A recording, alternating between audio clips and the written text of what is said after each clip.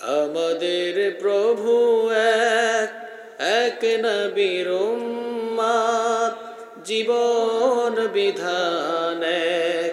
ওই শিবানী কোরআন আমাদের প্রভু এক এক নবীর জীবন বিধান এক। ওই শিবানী কোরআন তবে কেন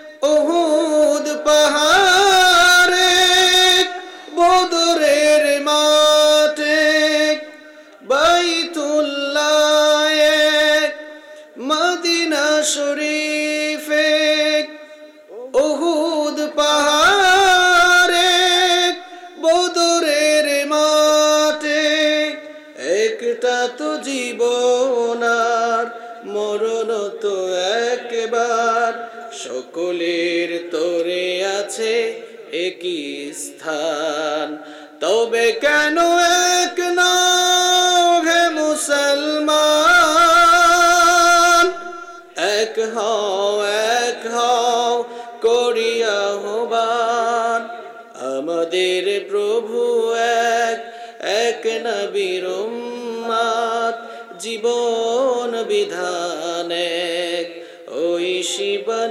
কোরআন। তবে কেন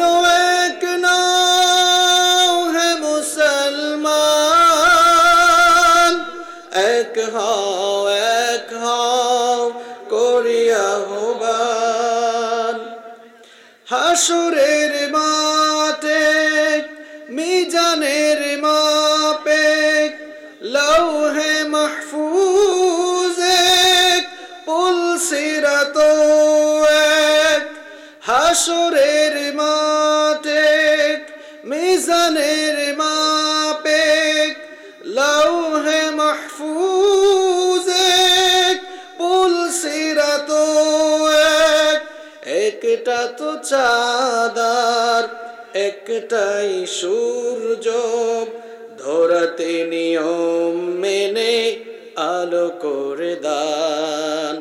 তবে কেন এক নাও হে মুসলমান? এক হও এক হও করিয়া হবান।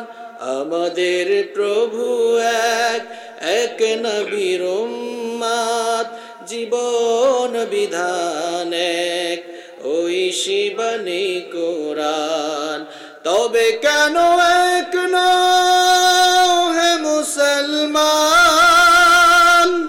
এক হ এক হও করিয়া হবান। বলেন আমিন। আমাদের সকলকে ঐক্যবদ্ধ হওয়ার দরকার আছে না নাই? আল্লাহ গোটা মুসলিম মিল্লাত করে দাও।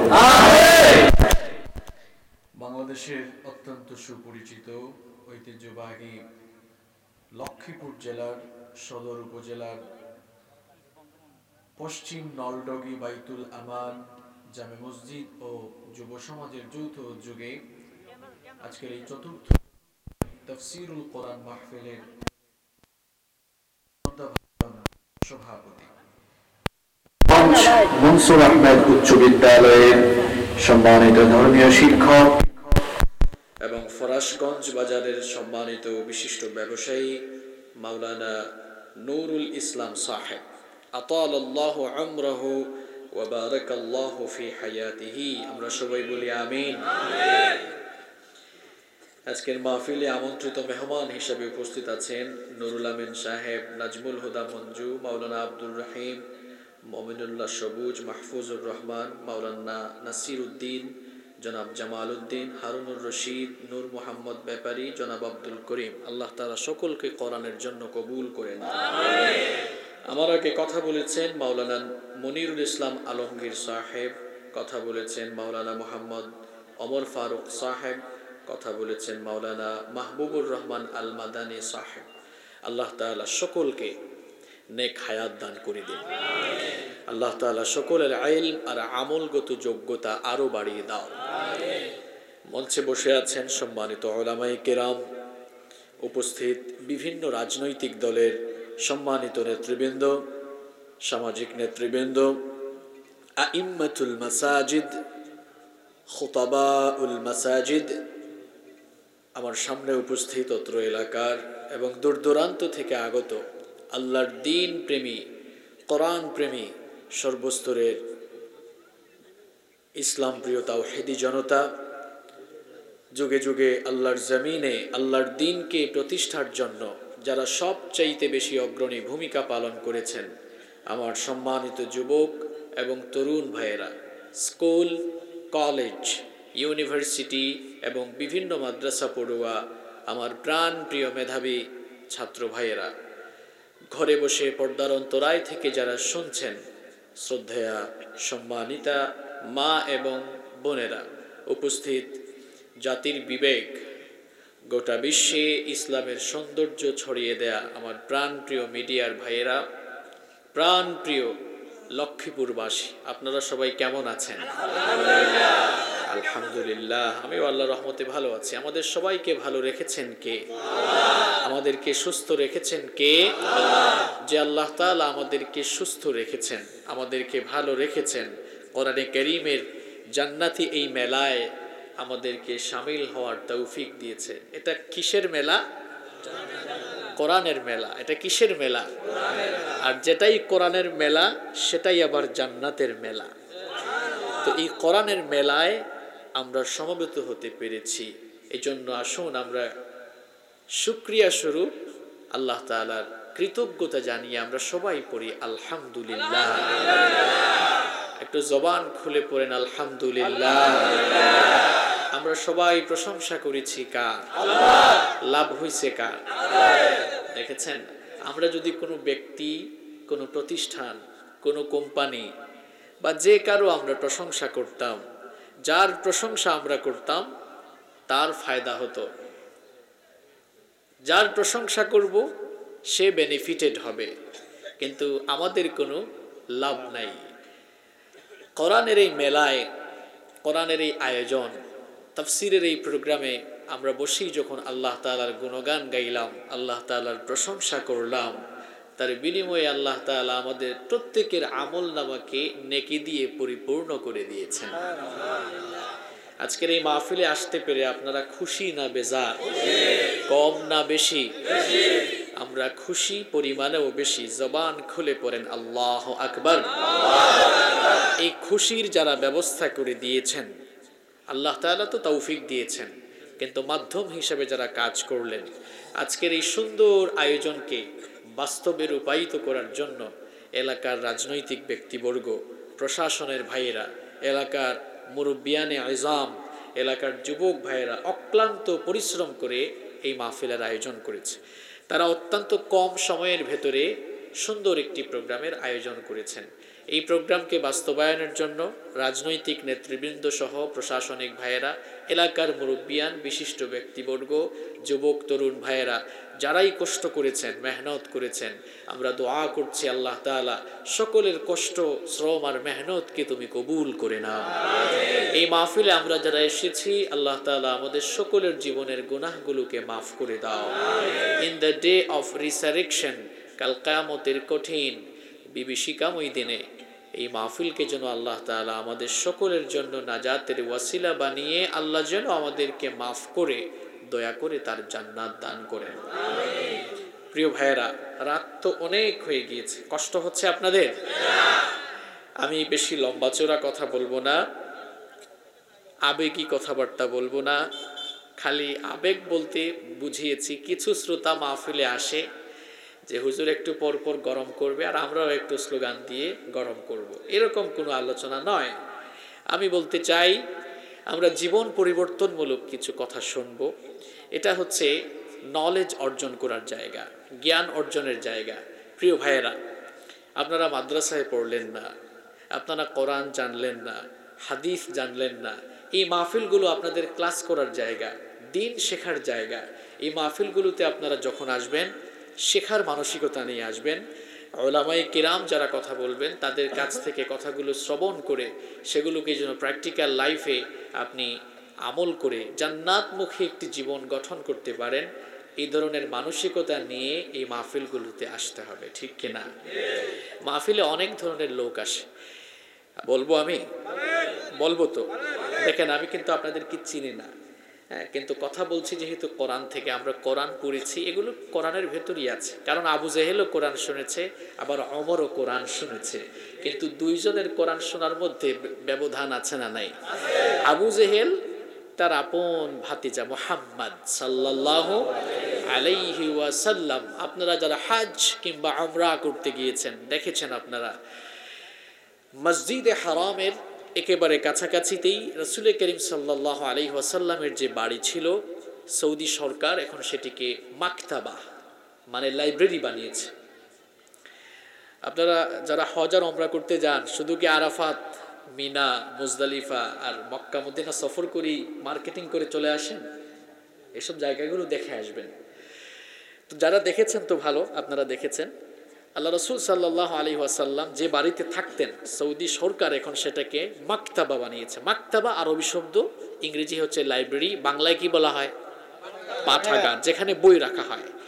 তো যে কোনো দেশের হাজিরা ওই লাইব্রেরিতে গেলে তাদেরকে কোরআন গিফট করা হয়। আপনি যদি বাংলাদেশ থেকে যান আমি তো গিয়েছি আলহামদুলিল্লাহ কয়েকবার। আপনি গেলেই দেখবেন আপনি যদি বলেন হ্যাঁ, আনামিন বাঞ্জলাদিস অথবা ওখানে বাংলাদেশি স্কলারও থাকেন। আপনাকে বাংলায় অনুবাদ করা কোরআন গিফট করবে।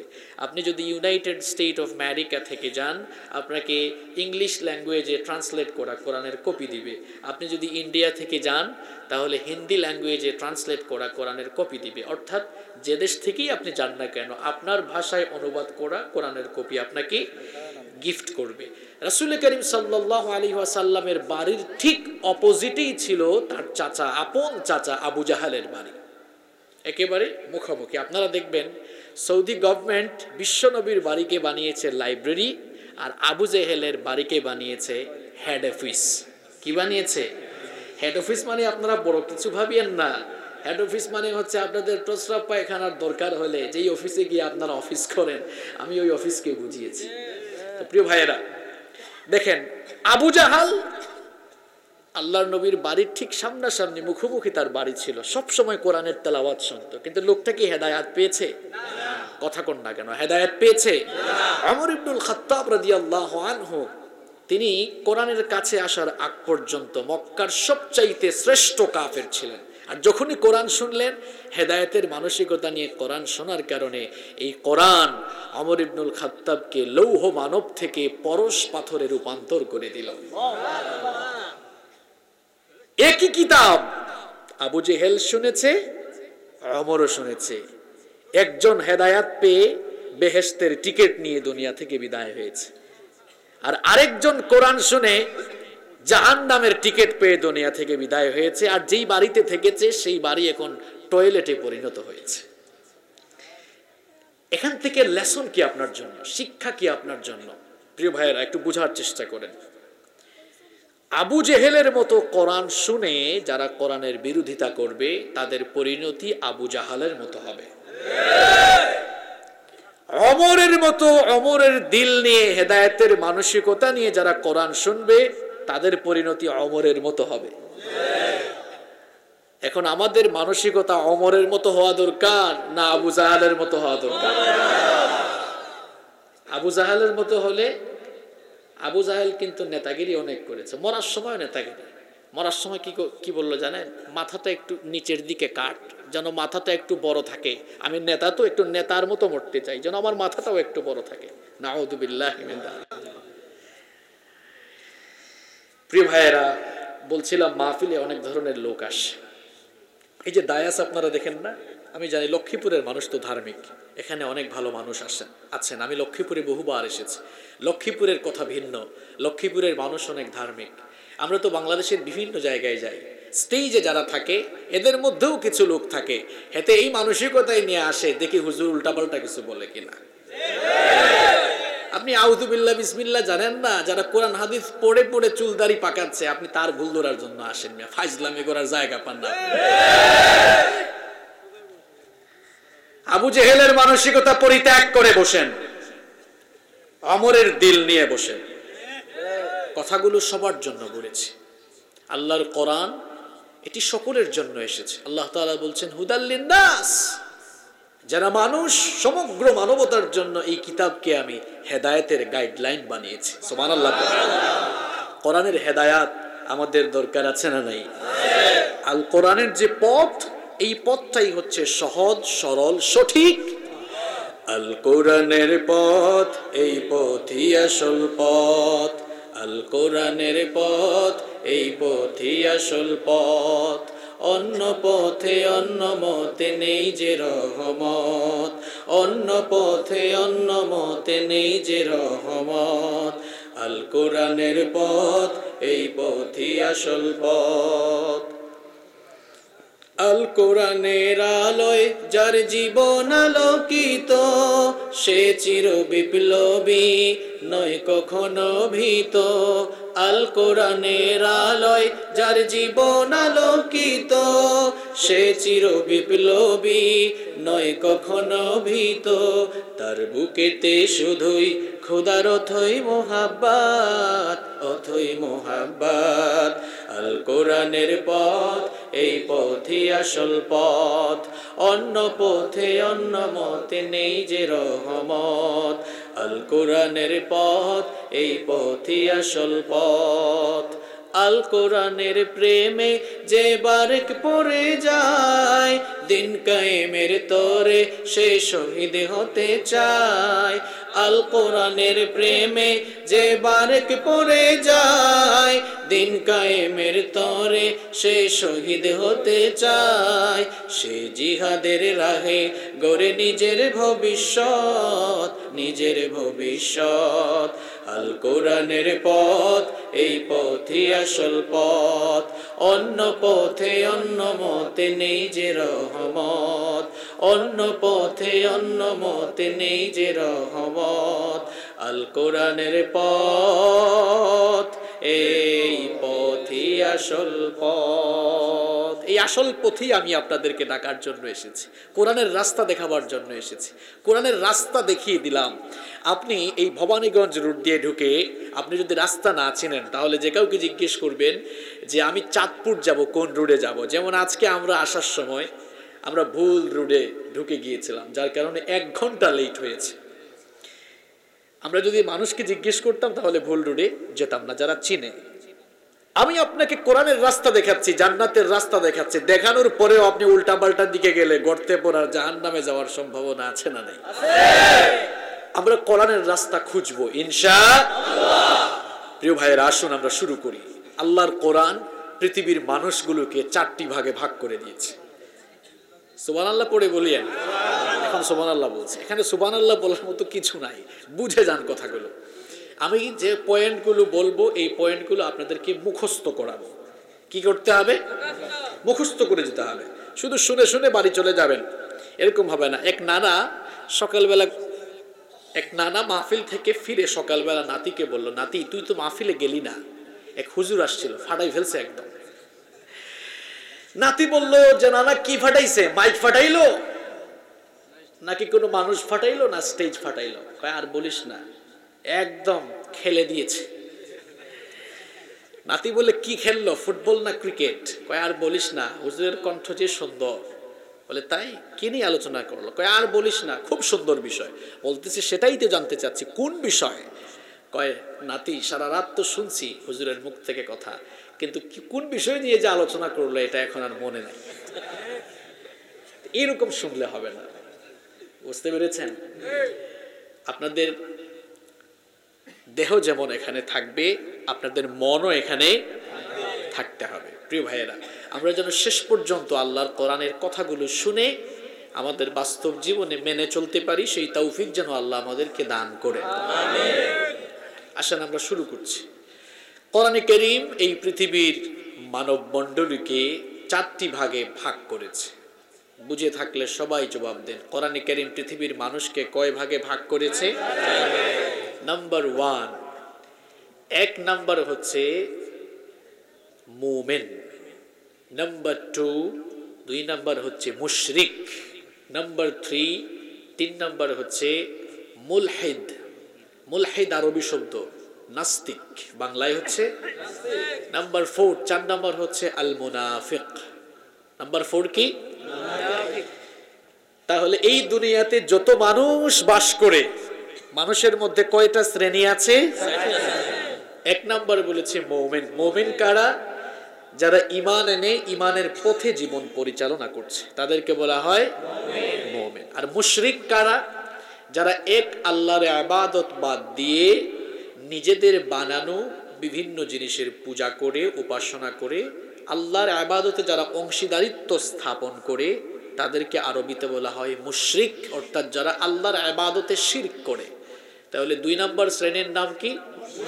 নাম্বার থ্রি তিন নম্বর বললাম মুলহেদ মানে নাস্তিক। নাস্তিক আর মুশরিক কিন্তু এক নয়। মুশরিক সে তো কারও না কারও আবাদত করে আর নাস্তিক যে সে কারোরই আবাদত করে না। কারণ তার মন্তব্য হচ্ছে তার কথা হচ্ছে দেয়ার ইজ নো গড স্রষ্টা বলতে কেউ নেই। মুশরিক যারা তার কিন্তু কোনো না কোনো খোদা থাকে কোনো না কোনো ইলাহ থাকে উপাস্য থাকে।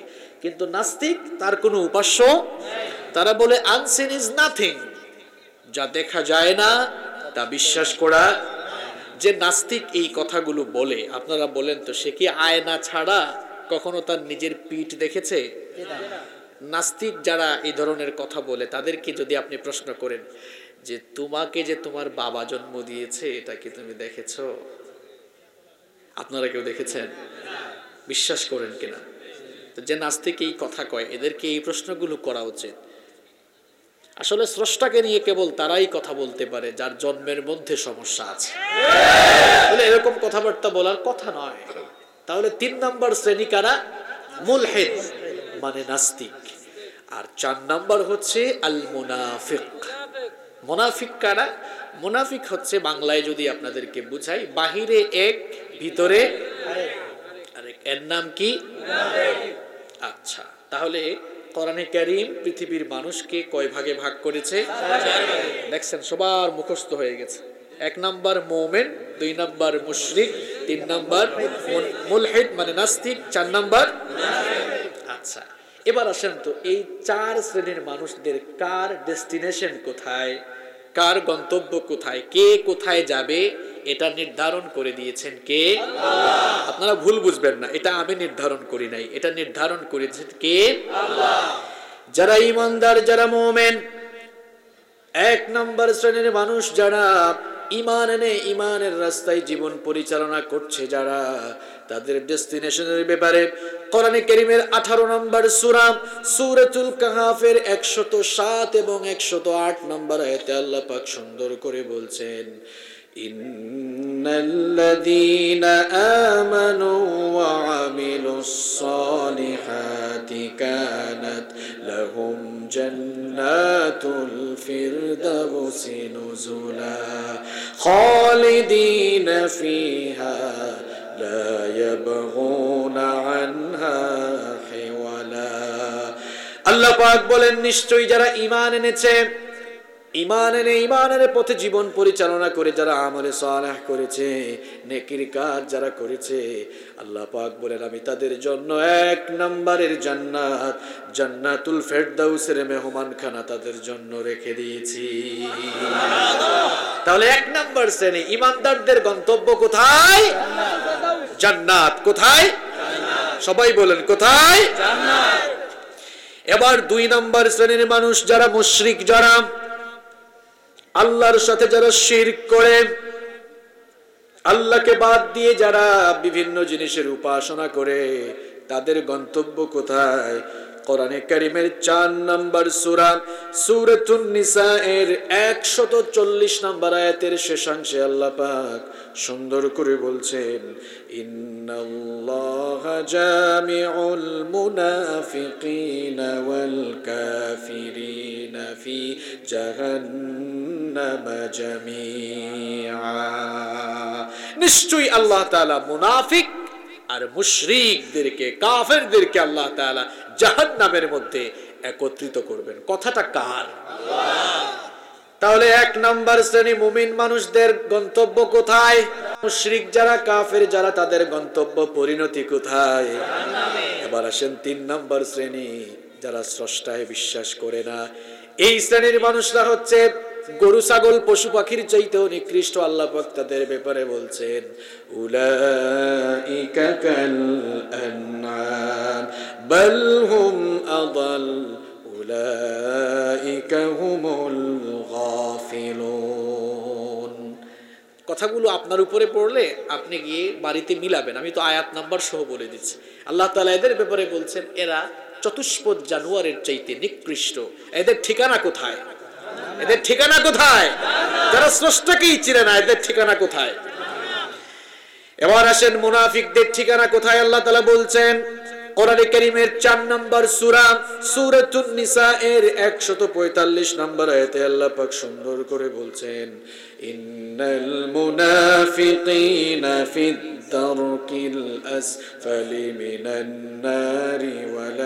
তাজিদ লাহুম আল্লাহ তাআলা বলছেন, নিশ্চয়ই, নিঃসন্দেহে মুনাফিকরা জাহান্নামের একেবারে তলায় অবস্থান করবে। জাহান নামের একেবারে বেসমেন্ট বেসমেন্ট বুঝেন তো আপনারা। একটা বিল্ডিং হলে বেসমেন্ট থাকে, তার উপরে গ্রাউন্ড ফ্লোর থাকে, এরপরে first floor second floor third floor উপরের দিকে উঠতে থাকে। বেসমেন্টটা গাড়ি রাখার জন্য বানানো হয়, তাই তাই না? গ্রাউন্ড ফ্লোর গাড়ি রাখার জন্য বেসমেন্ট আসবাবপত্র বা বিভিন্ন জিনিস রাখার জন্য এটা বানানো হয়। বড় বড় কাফের যারা ছিল, নমরুদ। নমরুদ কি আপনারা চিনেন তো? নমরুদের নাম শুনেছেন আপনারা? খুব ভালো মানুষ, তাই না? হ্যাঁ? খারাপ হ্যাঁ? তাহলে নমরুদকে আপনারা চিনেন, নিকৃষ্ট রাইট ফেরাউনের নাম শুনেছেন? খুব ভালো মানুষ, তাই না? Firaun, Namrud, Haman, Qarun, Shaddad, Abu Jahl, Utba, Shaiba. বলেন তো, এদের মতো নিকৃষ্ট মানুষ দুনিয়াতে আর আছে? এই নিকৃষ্ট বড় বড় কাফেরগুলো থাকবে জাহান নামের উপরের তলায়। মোনাফিকগুলো এই বড় বড় কাফেরদের চাইতেও এত খারাপ। ওই বড় বড় নিকৃষ্ট কাফেরগুলো জাহান নামের উপরের তলায় থাকার সুযোগ পেল। মুনাফিকগুলো একেবারে নিচ তলায় অবস্থান করবে। তাহলে কি বুঝলেন আপনারা? কাফের চাইতে মুনাফিক শ্রেষ্ঠ না নিকৃষ্ট? সবাই কথা বলবেন। কাফের চাইতে মুনাফিক ভালো না আরও খারাপ? আরও খারাপ। এখন কেউ যদি প্রশ্ন করে, হুজুর, আমরা হিন্দু দেখব, কোন দেশে যাব? আপনি ইন্ডিয়াতে যান, কোটি কোটি হিন্দু সে দেশে আছে না নাই? কেউ যদি বলে, হুজুর, খ্রিস্টান দেখব, কোন দেশে যাব? চলে যান, ইউনাইটেড স্টেট অফ আমেরিকাতে। এখানে খ্রিস্টান আছে না নাই? কেউ যদি বলে, হুজুর, বৌদ্ধ দেখব, কোন দেশে যাব? হ্যাঁ চীনে যেতে পারেন, মিয়ানমারে যেতে পারেন, সেখানে অনেক বৌদ্ধ আছে। কেউ যদি বলে, হুজুর, মুসলমান দেখব, এই দেশেও আছে, Saudi Arab, Qatar, Kuwait, Dubai, Indonesia, Malaysia, কত দেশ আছে? এখন কেউ যদি এই প্রশ্ন করে, হুজুর, মুনাফিক দেবো এটা কোন দেশে যাব? হ্যাঁ? এখন কি জবাব দিবেন বলেন? এর উত্তর হচ্ছে, ভাই, আপনি যদি মুনাফিক দেখতে চান তাহলে আপনাকে মুসলমানদের দেশগুলোতে একটা ভিজিট একটা ট্যুর দিতে হবে সফর করতে হবে। কারণ মুসলমানের দেশগুলোতে আপনি দেখবেন অনেক মানুষ মুসলমানের নাম ধারণ করে মুসলমানের বেশভূষা ধারণ করে এরা যখনই সুযোগ পায় তখনই তারা ইসলামকে জবাই করে। এরা হচ্ছে মুনাফিক। এরা হচ্ছে মুনাফিক। আর এই মুনাফিকগুলো কাফের চাইতেও ভালো তাই না? হ্যাঁ? আমি কিন্তু মাঝে মাঝে উল্টা পাল্টা বলব আপনাদেরকে ঠিক করে দিতে হবে। কেন উল্টা পাল্টা বলব? আমি মাঝে মাঝে একটু টেস্ট এক্সাম নিব। বুঝছেন? টেস্ট পরীক্ষা হয় না? আপনাদের কনসেন্ট্রেশন জায়গায় আছে কিনা এটা বোঝার জন্য একটু উল্টা পাল্টা করে বলব। তবে আমার বিশ্বাস লক্ষ্মীপুরের মানুষ সুশিক্ষিত এবং সচেতন। আপনারা আপনাদের শিক্ষা দীক্ষা এবং সচেতনতার বহিঃপ্রকাশ আজকে ঘটাবেন ইনশা আল্লাহ। তাআলা কোরআনে কারীমে মুমিনদের নামে সূরা দিয়েছেন। কাফিরদের নামেও সূরা দিয়েছেন, আবার মুনাফিকের নামেও সূরা দিয়েছেন। মুমিনদের নামে আল্লাহ তাআলা যে সূরা দিয়েছেন, এটি কোরআনে কারীমের 23 নম্বর সূরা। সূরাটার নাম হচ্ছে সূরাতুল মুমিনুন। এটি কোরআনে কারীমের 18তম পারায় অবস্থিত। কাফেরদের নামে আল্লাহ একটি সূরা দিয়েছেন। এটা তিরিশতম পাড়ায় রয়েছে। এই সূরাটা আপনাদের সবার মুখস্থ। এই সূরার নাম কি? সবাই বলেন, সূরাতুল কাফিরুন। সূরাতুল কাফিরুন তিন পৃষ্ঠা, তাই না? তাহলে তিন লাইন। তিন পৃষ্ঠা না, কয় লাইন? আড়াই লাইন বা তিন লাইন হবে আর কি। আর মুনাফিকদের নামে আল্লাহ একটি সূরা দিয়েছেন। সূরার নাম সূরাতুল মুনাফিকুন। মুনাফিকের সূরা কয় লাইন কয় পৃষ্ঠা? কয় পৃষ্ঠা কেউ জানে না? হ্যাঁ, কোনো হাফেজও নাই এখানে। পড়েন নাই কখনো মুনাফিকুন? দেড় পৃষ্ঠার চেয়েও বেশি। আচ্ছা প্রিয় ভাইয়েরা দেখেন কাফেরদের জন্য আল্লাহ তিন লাইনের সূরা দিলেন। আড়াই বা তিন লাইনের সূরা দিলেন। আর মুনাফিকদের জন্য কয় পৃষ্ঠা দিলেন? এখান থেকে কি আপনি বুঝেন না যে কাফেরের চেয়ে মুনাফিক কত খারাপ? কত খারাপ? কত খারাপ? এদের বৈশিষ্ট্যগুলো বুঝাবার জন্য আল্লাহ দেড় পৃষ্ঠা নাজিল করেছেন সুমান আল্লাহ কয় দেখছেন প্রিয় ভাইয়েরা, বুঝে শুনে জবাব দিয়ে। সম্মানিত ভাইয়েরা, মুনাফিকরা খুব নিকৃষ্ট। আপনি জানলে অবাক হয়ে যাবেন, আল্লাহ রসুলের বড় বড় সাহাবেরা, যারা জান্নাতের টিকিট নিয়ে দুনিয়া থেকে বিদায় হয়েছেন, তারাও এই নিফাকের ব্যাপারে সব সময় ভয়ে থাকতেন, না জানি কখন ইমান হারিয়ে তারা মুনাফিক হয়ে যান কিনা। কেন? আমাদের চির দুশ্মন, আমাদের চিরশত্রুকে যারা বলল না, ইবলিস কি তাদের ফ্রেন্ড নাকি? বন্ধু নাকি? ইবলিস কি আপনাদের ফ্রেন্ড আমাদের দুশ্মন কে? মনে রাখবেন, এই মিস্টার ইবলিস মুসলমানের সন্তানকে কখনো কাফের বানাতে চায় না। কারণ সে জানে, মুসলমানের সন্তানকে কাফের বানানো অত সহজ না। সে আপনাকে কাফের বানাতে চাইবেও না। মুসলমানের সন্তান আপনাকে মুনাফিক বানাতে চায়। কারণ শয়তান আপনার চেয়ে বয়সেও বড়, বুদ্ধিতেও শয়তানের বয়স আপনার চেয়ে কম। আপনার চেয়ে কম? শয়তানের বুদ্ধি আপনার চেয়ে কম? অনেক বেশি। শয়তান আপনার চেয়ে বয়সেও বড়, বুদ্ধিতেও বড়। একেবারে টাটকা। বুদ্ধিতেও টাটকা, বয়সেও টাটকা। সে ভালো করেই জানে। মুসলমানের সন্তানকে আমি যদি কাফের বানাই, তো কাফের তো জাহান নামের উপরের তোলায় থাকবে। মুনাফিক বানাই, তাইলে জাহান নামের আপনাকে কখনোই সে কাফের বানাতে চাইবে না। কারণ সে জানে আপনাকে কাফের বানানো অত সহজ। সে আপনাকে মুনাফিক বানাতে চায়। আল্লাহ রসুল ওয়াসাল্লামের এটা জানতেন, এটা বুঝতেন বলে সব সময় তারা সতর্ক থাকতেন। বিশ্বনবী সাল্লাল্লাহু আলাইহি ওয়াসাল্লামের একজন প্রিয় সাহাবী ইবনুল যার মর্যাদার ব্যাপারে আল্লাহ রাসূল নিজে বলেছেন, লা আমার পরে কোনো নবী আসবে না, আমার পরে কোনো রাসূলও আসবে না।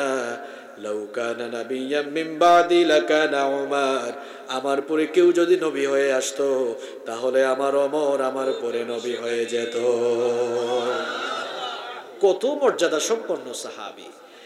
সেই অমর ইবনুল খাত্তাব রাদিয়াল্লাহু আনহু, তিনি একবার আবু হুদাইফা ইবনুল ইয়ামান রাদিয়াল্লাহু আনহুকে প্রশ্ন করলেন অলক্ষীপুরের ভাইয়েরা, আবু হুদাইফা ইবনুল ইয়ামান রাদিয়াল্লাহু আনহুকে বলা হতো, সাহেবু সিররুন নবী পড়েন সাল্লাল্লাহু আলাইহি ওয়াসাল্লাম। তিনি ছিলেন নবীজির গোপন কথার ভান্ডার নবীজি সকল গোপন গোপন কথাগুলো আবু হুদাইফা ইবনুল ইয়ামান রাদিয়াল্লাহু আনহুর সাথে শেয়ার করেছিলেন।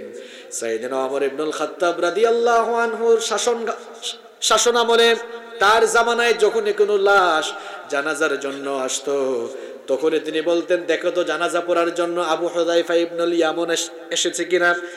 আবু হুদাইফা ইবনুল ইয়ামেন যদি আসে, তাহলে জানাজা হবে। সে যদি জানাজায় না আসে, তাহলে জানাজা হবে না।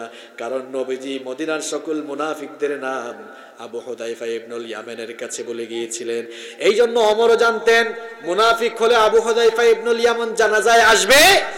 এই জন্য তিনিও নিশ্চিত হয়ে যেতেন, যার লাশ আনা হয়েছে লোকটা মুনাফিক নাকি মোমেন। জানার জন্য বলতেন, দেখো তো আবু হুদাইফা ইবনুল ইয়ামেন জানাজায় এসেছে কিনা? এইভাবে আমর ইবনুল খাত্তাব রাদিয়াল্লাহু আনহু আবু হুদাইফা ইবনুল ইয়ামেনের উপস্থিতির মাধ্যমে নিশ্চিত হতেন।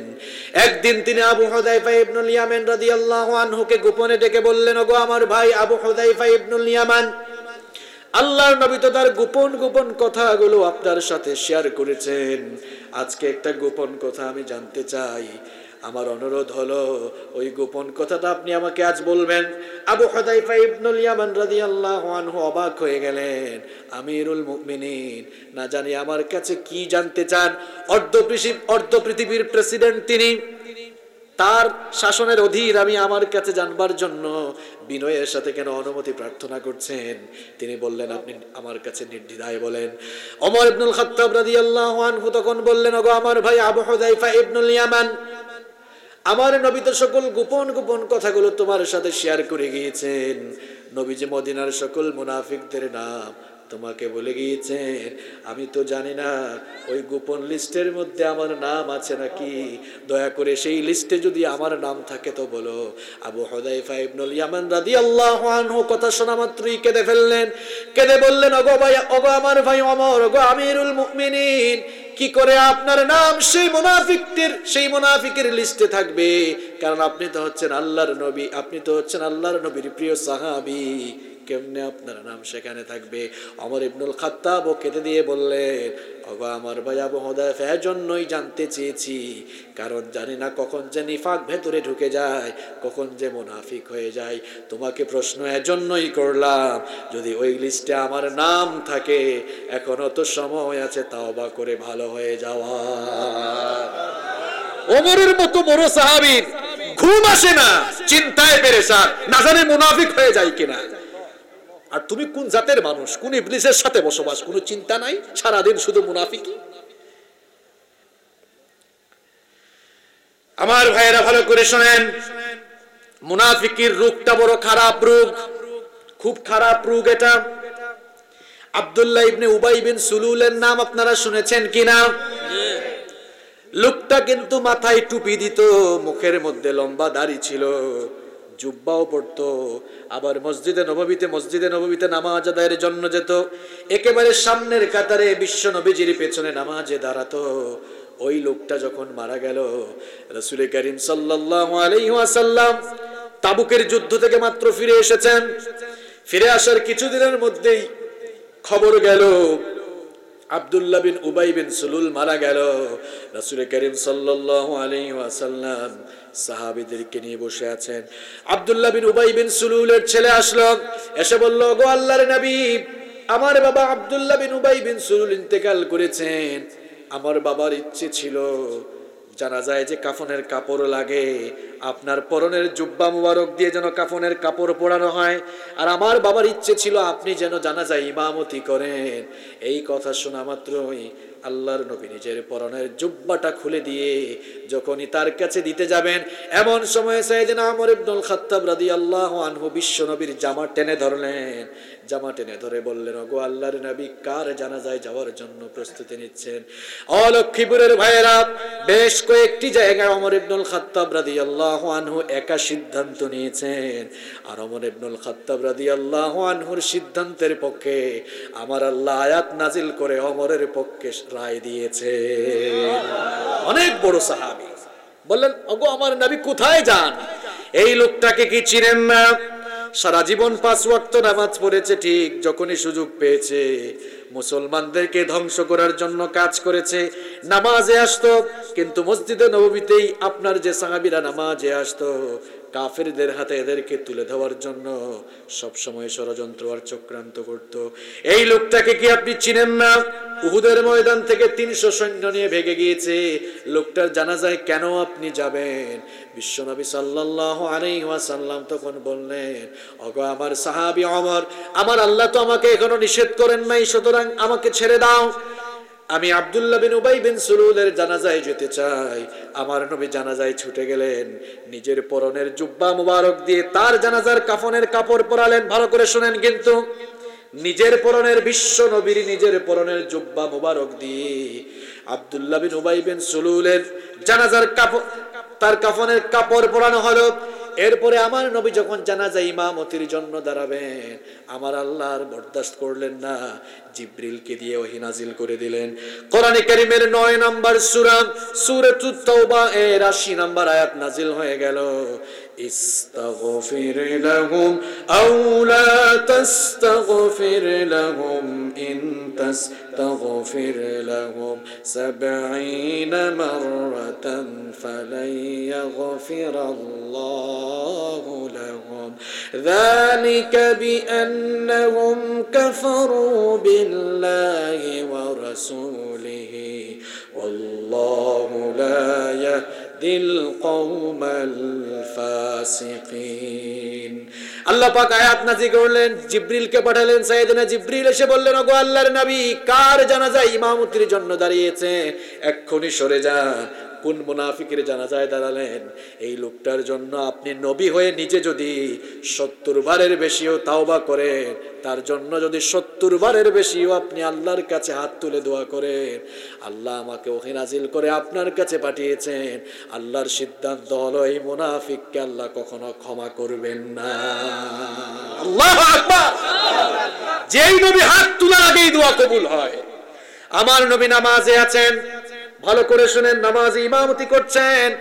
মদিনায় হিজরত করে যাওয়ার পর মুসলমানদের কিবলা মসজিদে হারামের আগে বাইতুল মুকাদ্দাসের দিকে ছিল। বাইতুল মুকাদ্দাসের দিকে ফিরে সালাত আদায় করছেন। আল্লাহর নবীর মনটা চায়, আর কিবলা যদি বাইতুল মুকাদ্দাসের দিকে না হয়ে বাইতুল্লাহর দিকে হতো, তাহলে মনটা বড় শান্ত হয়ে যেত। আল্লাহর নবী মনে মনে ইচ্ছা পোষণ করেছেন। হাত তুললে আল্লাহর কাছে দোয়াও করেন নাই। দুই রাকাত যখন শেষ হলো, দুই রাকাতের মধ্যে ওহি নাজিল হয়ে গেল। জিব্রিল ওহি নাজিল করলে জিব্রিল ওহি নিয়ে আগমন করলেন قد نرى تقلب وجهك في السماء فلنولينك قبلة ترضاها فول وجهك شطر المسجد الحرام الله تعالى ওহি নাজিল করলেন নবী আপনি নামাজে দাঁড়িয়ে বারবার আকাশের পানে তাকিয়ে আপনার মনোবাসনা কি করছেন, এটা আল্লাহ দেখেছেন। আপনার মনের আশা পূরণ করে দিলাম, হাত তুলে দোয়া করা লাগবে না। এক্ষুনি নামাজের ভেতরে আপনি আপনার মুখে বাইতুল মকদাস থেকে ফিরিয়ে আপনি বাইতুল্লাহর দিকে ঘুরিয়ে নেন। আল্লাহ যেই নবী হাত তোলা লাগে না, হাত তোলার আগে দোয়া কবুল। সেই একই নবী মুনাফিকের জানাজায় দাঁড়িয়েছেন, জানাজা আদায়ের জন্য। সেই নবী কি আল্লাহ নাজিল করে বলছেন, এই মুনাফিকের জন্য একবার নয়, দুইবার নয় দশ বার নয় বিশ বার নয়, আপনি নবী হয়েও যদি সত্তর বারের বেশি, তার জন্য দোয়া করেন। আমার সিদ্ধান্ত, এই লোকটাও যেমন জাহান নামে যাবে না, এই ধরনের লোক কামত পর্যন্ত যারা আসবে, তারাও জান্নাতে যাবে। কথাটা আমার না আল্লাহ বুঝতে পারছেন মুনাফিকগুলো কত নিকৃষ্ট? এরপরে আল্লাহ আয়াত নাজিল করে আরও জানালেন, আল্লাহর সিদ্ধান্ত, আল্লাহ জানালেন, আল্লাহ বললেন, এদের ব্যাপারে আমার আরও সিদ্ধান্ত কি? শোনো শোনো। ওয়ালা তুসাল্লি আলা আহাদিম মিনহুম তাকুম আলা কবরিহি ইন্নাহুম কাফারু বিল্লাহি ওয়া রাসূলিহি ওয়া মাতু ওয়া হুম ফাসিকুন আল্লাহ তাআলা বললেন, শুধু এদের জন্য দোয়া নয়, এই ধরনের মুনাফিক মারা গেলে এদের জন্য জানাজার, নামাজেও দাঁড়াবা। কথাটা কার? কথাটা কার? আপনি কি বুঝতে পারছেন যে মুনাফিকগুলো আল্লাহর কাছে কত নিকৃষ্ট হলে পরে আল্লাহ তালা আয়াত নাজিল করে নবীকে এই কথাগুলো জানান? প্রিয় ভাইয়েরা, আল্লাহর কাছে দোয়া করুন, আল্লাহ যেন মুনাফিক বানিয়ে আপনার মৃত্যু না দেন। বলে না আমিন। কারণ মুসলমান যারা, এরাই তো মুনাফিক হয়ে যেতে পারে। মুনাফিকের খাসলত যেগুলো, স্বভাব যেগুলো ক্যারেক্টারিস্টিক যেগুলো আছে, এগুলো তো ভেতরে চলে আসলে আর মুমিন থাকবে না। হয়ে যাবে? মুনাফিক আরবি শব্দ এটি না, নুন, ফা, কফ, নাফাকন, মূল ধাতু থেকে নিষ্পন্ন হয়েছে, যার অর্থ হচ্ছে গর্ত, ছিদ্র, সুরঙ্গ, ইংরেজিতে বলা হয় টানেল। দেশের বাহিরে গেলে আপনারা দেখছেন বিভিন্ন টানেল দিয়ে গাড়ি ঢুকে, আছে না? চট্টগ্রামেও কিন্তু কর্ণফুলি টানেল হচ্ছে, আপনারা জানেন কিনা? তা আমরা দেশের বাইরে গিয়েছি, টানেল দিয়ে গাড়ি যে ঢুকে, আমরা সেটা দেখেছি, আপনারাও হয়তো অনেকে দেখেছেন, তাই না? টানেলের মুখ থাকে একটা না দুইটা? সুরঙ্গ, সুরঙ্গের মুখ একটা থাকে না দুইটা থাকে? একদিকে ঢুকে আরেক দিকে? মোনাফিকগুলো হচ্ছে টানেলের মতো। এরা একদিকে বের হয়, অন্যদিকে? কেউ কেউ বলেছেন, কোন কোন স্কলার, কোন কোন গবেষক বলেছেন যে মোনাফিক এই শব্দটি নাফিকুল ইয়ার ব থেকে এসেছে। নাফিকুল ইয়ার ব মানে হচ্ছে পাহাড়ি বন্য ইঁদুর। আমার হোম ডিস্ট্রিক্ট তো সিলেটে, আপনারা জানেন? আমি তো পাহাড়ি এলাকার মানুষ। পাহাড়ে উঠলে দেখবেন পাহাড়ে অনেক গর্ত থাকে। তো পাহাড়ি ইঁদুরগুলো ওই গর্তগুলো খুঁড়ে আর এই পাহাড়ি ইঁদুরগুলা খুব চালাক হয়। এদেরকে মারার জন্য এক গর্তে পানি ঢাললে সে অন্য গর্তে দৌড় দেয়। এদেরকে পাওয়া যায় না। মোনাফিকগুলো ওই পাহাড়ি ইঁদুরের মতো। এদেরকে এত সহজে চেনা যায় না। কারণ সময়ে অসময়ে তারা তাদের ফেস কাটিং বদলিয়ে ফেলে। বুঝতে পেরেছেন? এরা হচ্ছে মোনাফিক। এরা হচ্ছে আপনি আবার এই চিন্তা নিয়ে মাহফিলে বসিয়ান না যে, হুজুর কি আজকে আমার বিরুদ্ধে বলার জন্যই আসছে নাকি? কি ভাই, আপনাকে আমি চিনি? কথা কোনটা কেন? চিনি? আমার প্রতি আক্রোশ রাখবেন না।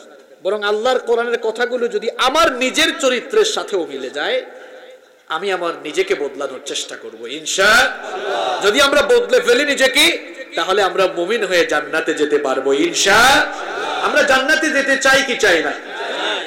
এজন্য মুনাফিকের খাসলত চেঞ্জ করে ফেলতে হবে। প্রিয় ভাইয়েরা, মুনাফিক আপনি চিনবেন কেমনে মুনাফিকের বেশভূষা দেখে আপনি মুনাফিককে চিনতে পারবেন না।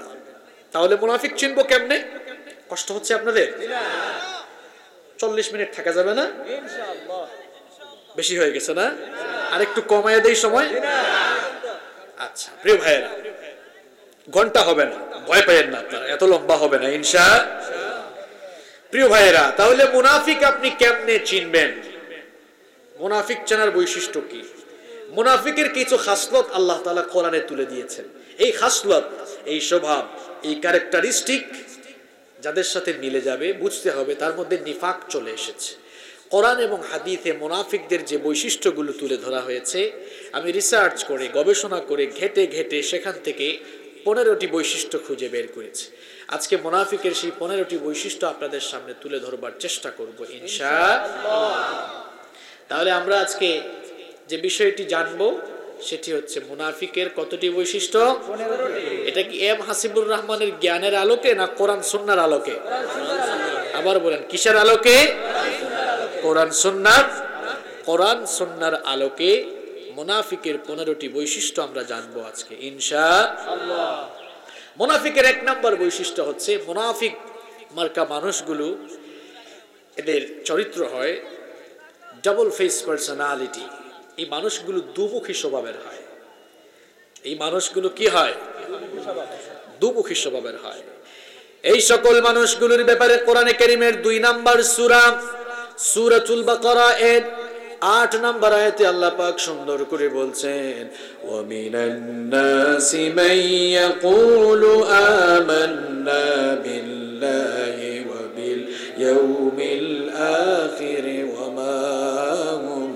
বিমুমিনিন। আল্লাহ পাক বলেন, মানুষদের মধ্যে এমন কিছু লোক আছে যারা মুখে মুখে ইমানের কথা বলে, আখেরাতের কথা বলে। কিন্তু তাদের অন্তরে ইমানের ছিটা ফুটাও নাই। এরা মুখ দিয়ে ইমানদারি দেখায়, মুখে মুখে ইমানের ইমানের, তারা মুখে মুখে ইমানের কথা বলে বেড়ায়। আল্লাহ পাক বলেন ওমা হুম বিমুমিনিন। কিন্তু কাজে কর্মে আদৌ তারা মুমিন নয়। কথাটা কার? এরা মুখে মুখে ইমানের কথা বলে। তাফসিরের মাহফিলে এসে বলে, আমরা আপনাদের সাথে আছি। আমরা আপনাদের ভালোবাসা, আবেগ বুঝি, আবার কোরআনের মাহফিল থেকে বের হয়ে মাহফিল বন্ধের জন্য ব্যবস্থা করে। এটা হলো মুনাফিকের স্বভাব। ইমানদারদের সামনে আসলে ইমানদারি দেখায়, আর বেঈমানদের সামনে গেলে বেঈমানদের সাথে মিলে যায়। এরা দুমুখী স্বভাবের হয়। এরা মুসল এরা মসজিদে ঢুকলে পরে মুসল্লিরা, আমরা আপনাদের সাথে আছি, আমাদের ভেতরেও ধার্মিকতা আছে আমরাও ধর্মপান মানুষ। কিন্তু গোপনে গোপনে মিটিং করে মুসল্লি যারা মুসল্লিদেরকে মারার ষড়যন্ত্র তারা করে। আল্লাহ পাকেদের ব্যাপারে সূরা বাকারার 8 নম্বর আয়াত নাজিল করে বললেন, এরা মুখ দিয়ে ইমানের কথা বলে আর কাজকর্ম সব বেঈমানি, এরকম আছে না নাই? এরা মুখ দিয়ে ইমানের কথা বলে আর কাজে কর্মে বেঈমানি করে। এরা মসজিদে আসলে আল্লাহ আল্লাহ বলে, আবার মন্দিরে গেলে শ্রীরাম আর রাম রাম জিকির করে। এটা হলো মুনাফিকের এক নম্বর স্বভাব। মুনাফিক এই দিকেও আছে ওই দিকেও সবাইকে খুশি রাখতে চায়। মসজিদে আসলে মসজিদেও সদাকা করে, মসজিদেও দান খয়রাত করে। মাহফিলে আসলে মাহফিলেও পাঁচ হাজার, দশ হাজার টাকা দেয়। আবার যদি গানের কিংবা নাচের কনসার্টের আয়োজন করা হয়, সেখানেও টাকা পয়সা দিয়ে তাদের মনও তারা রক্ষা করার ব্যবস্থা করে।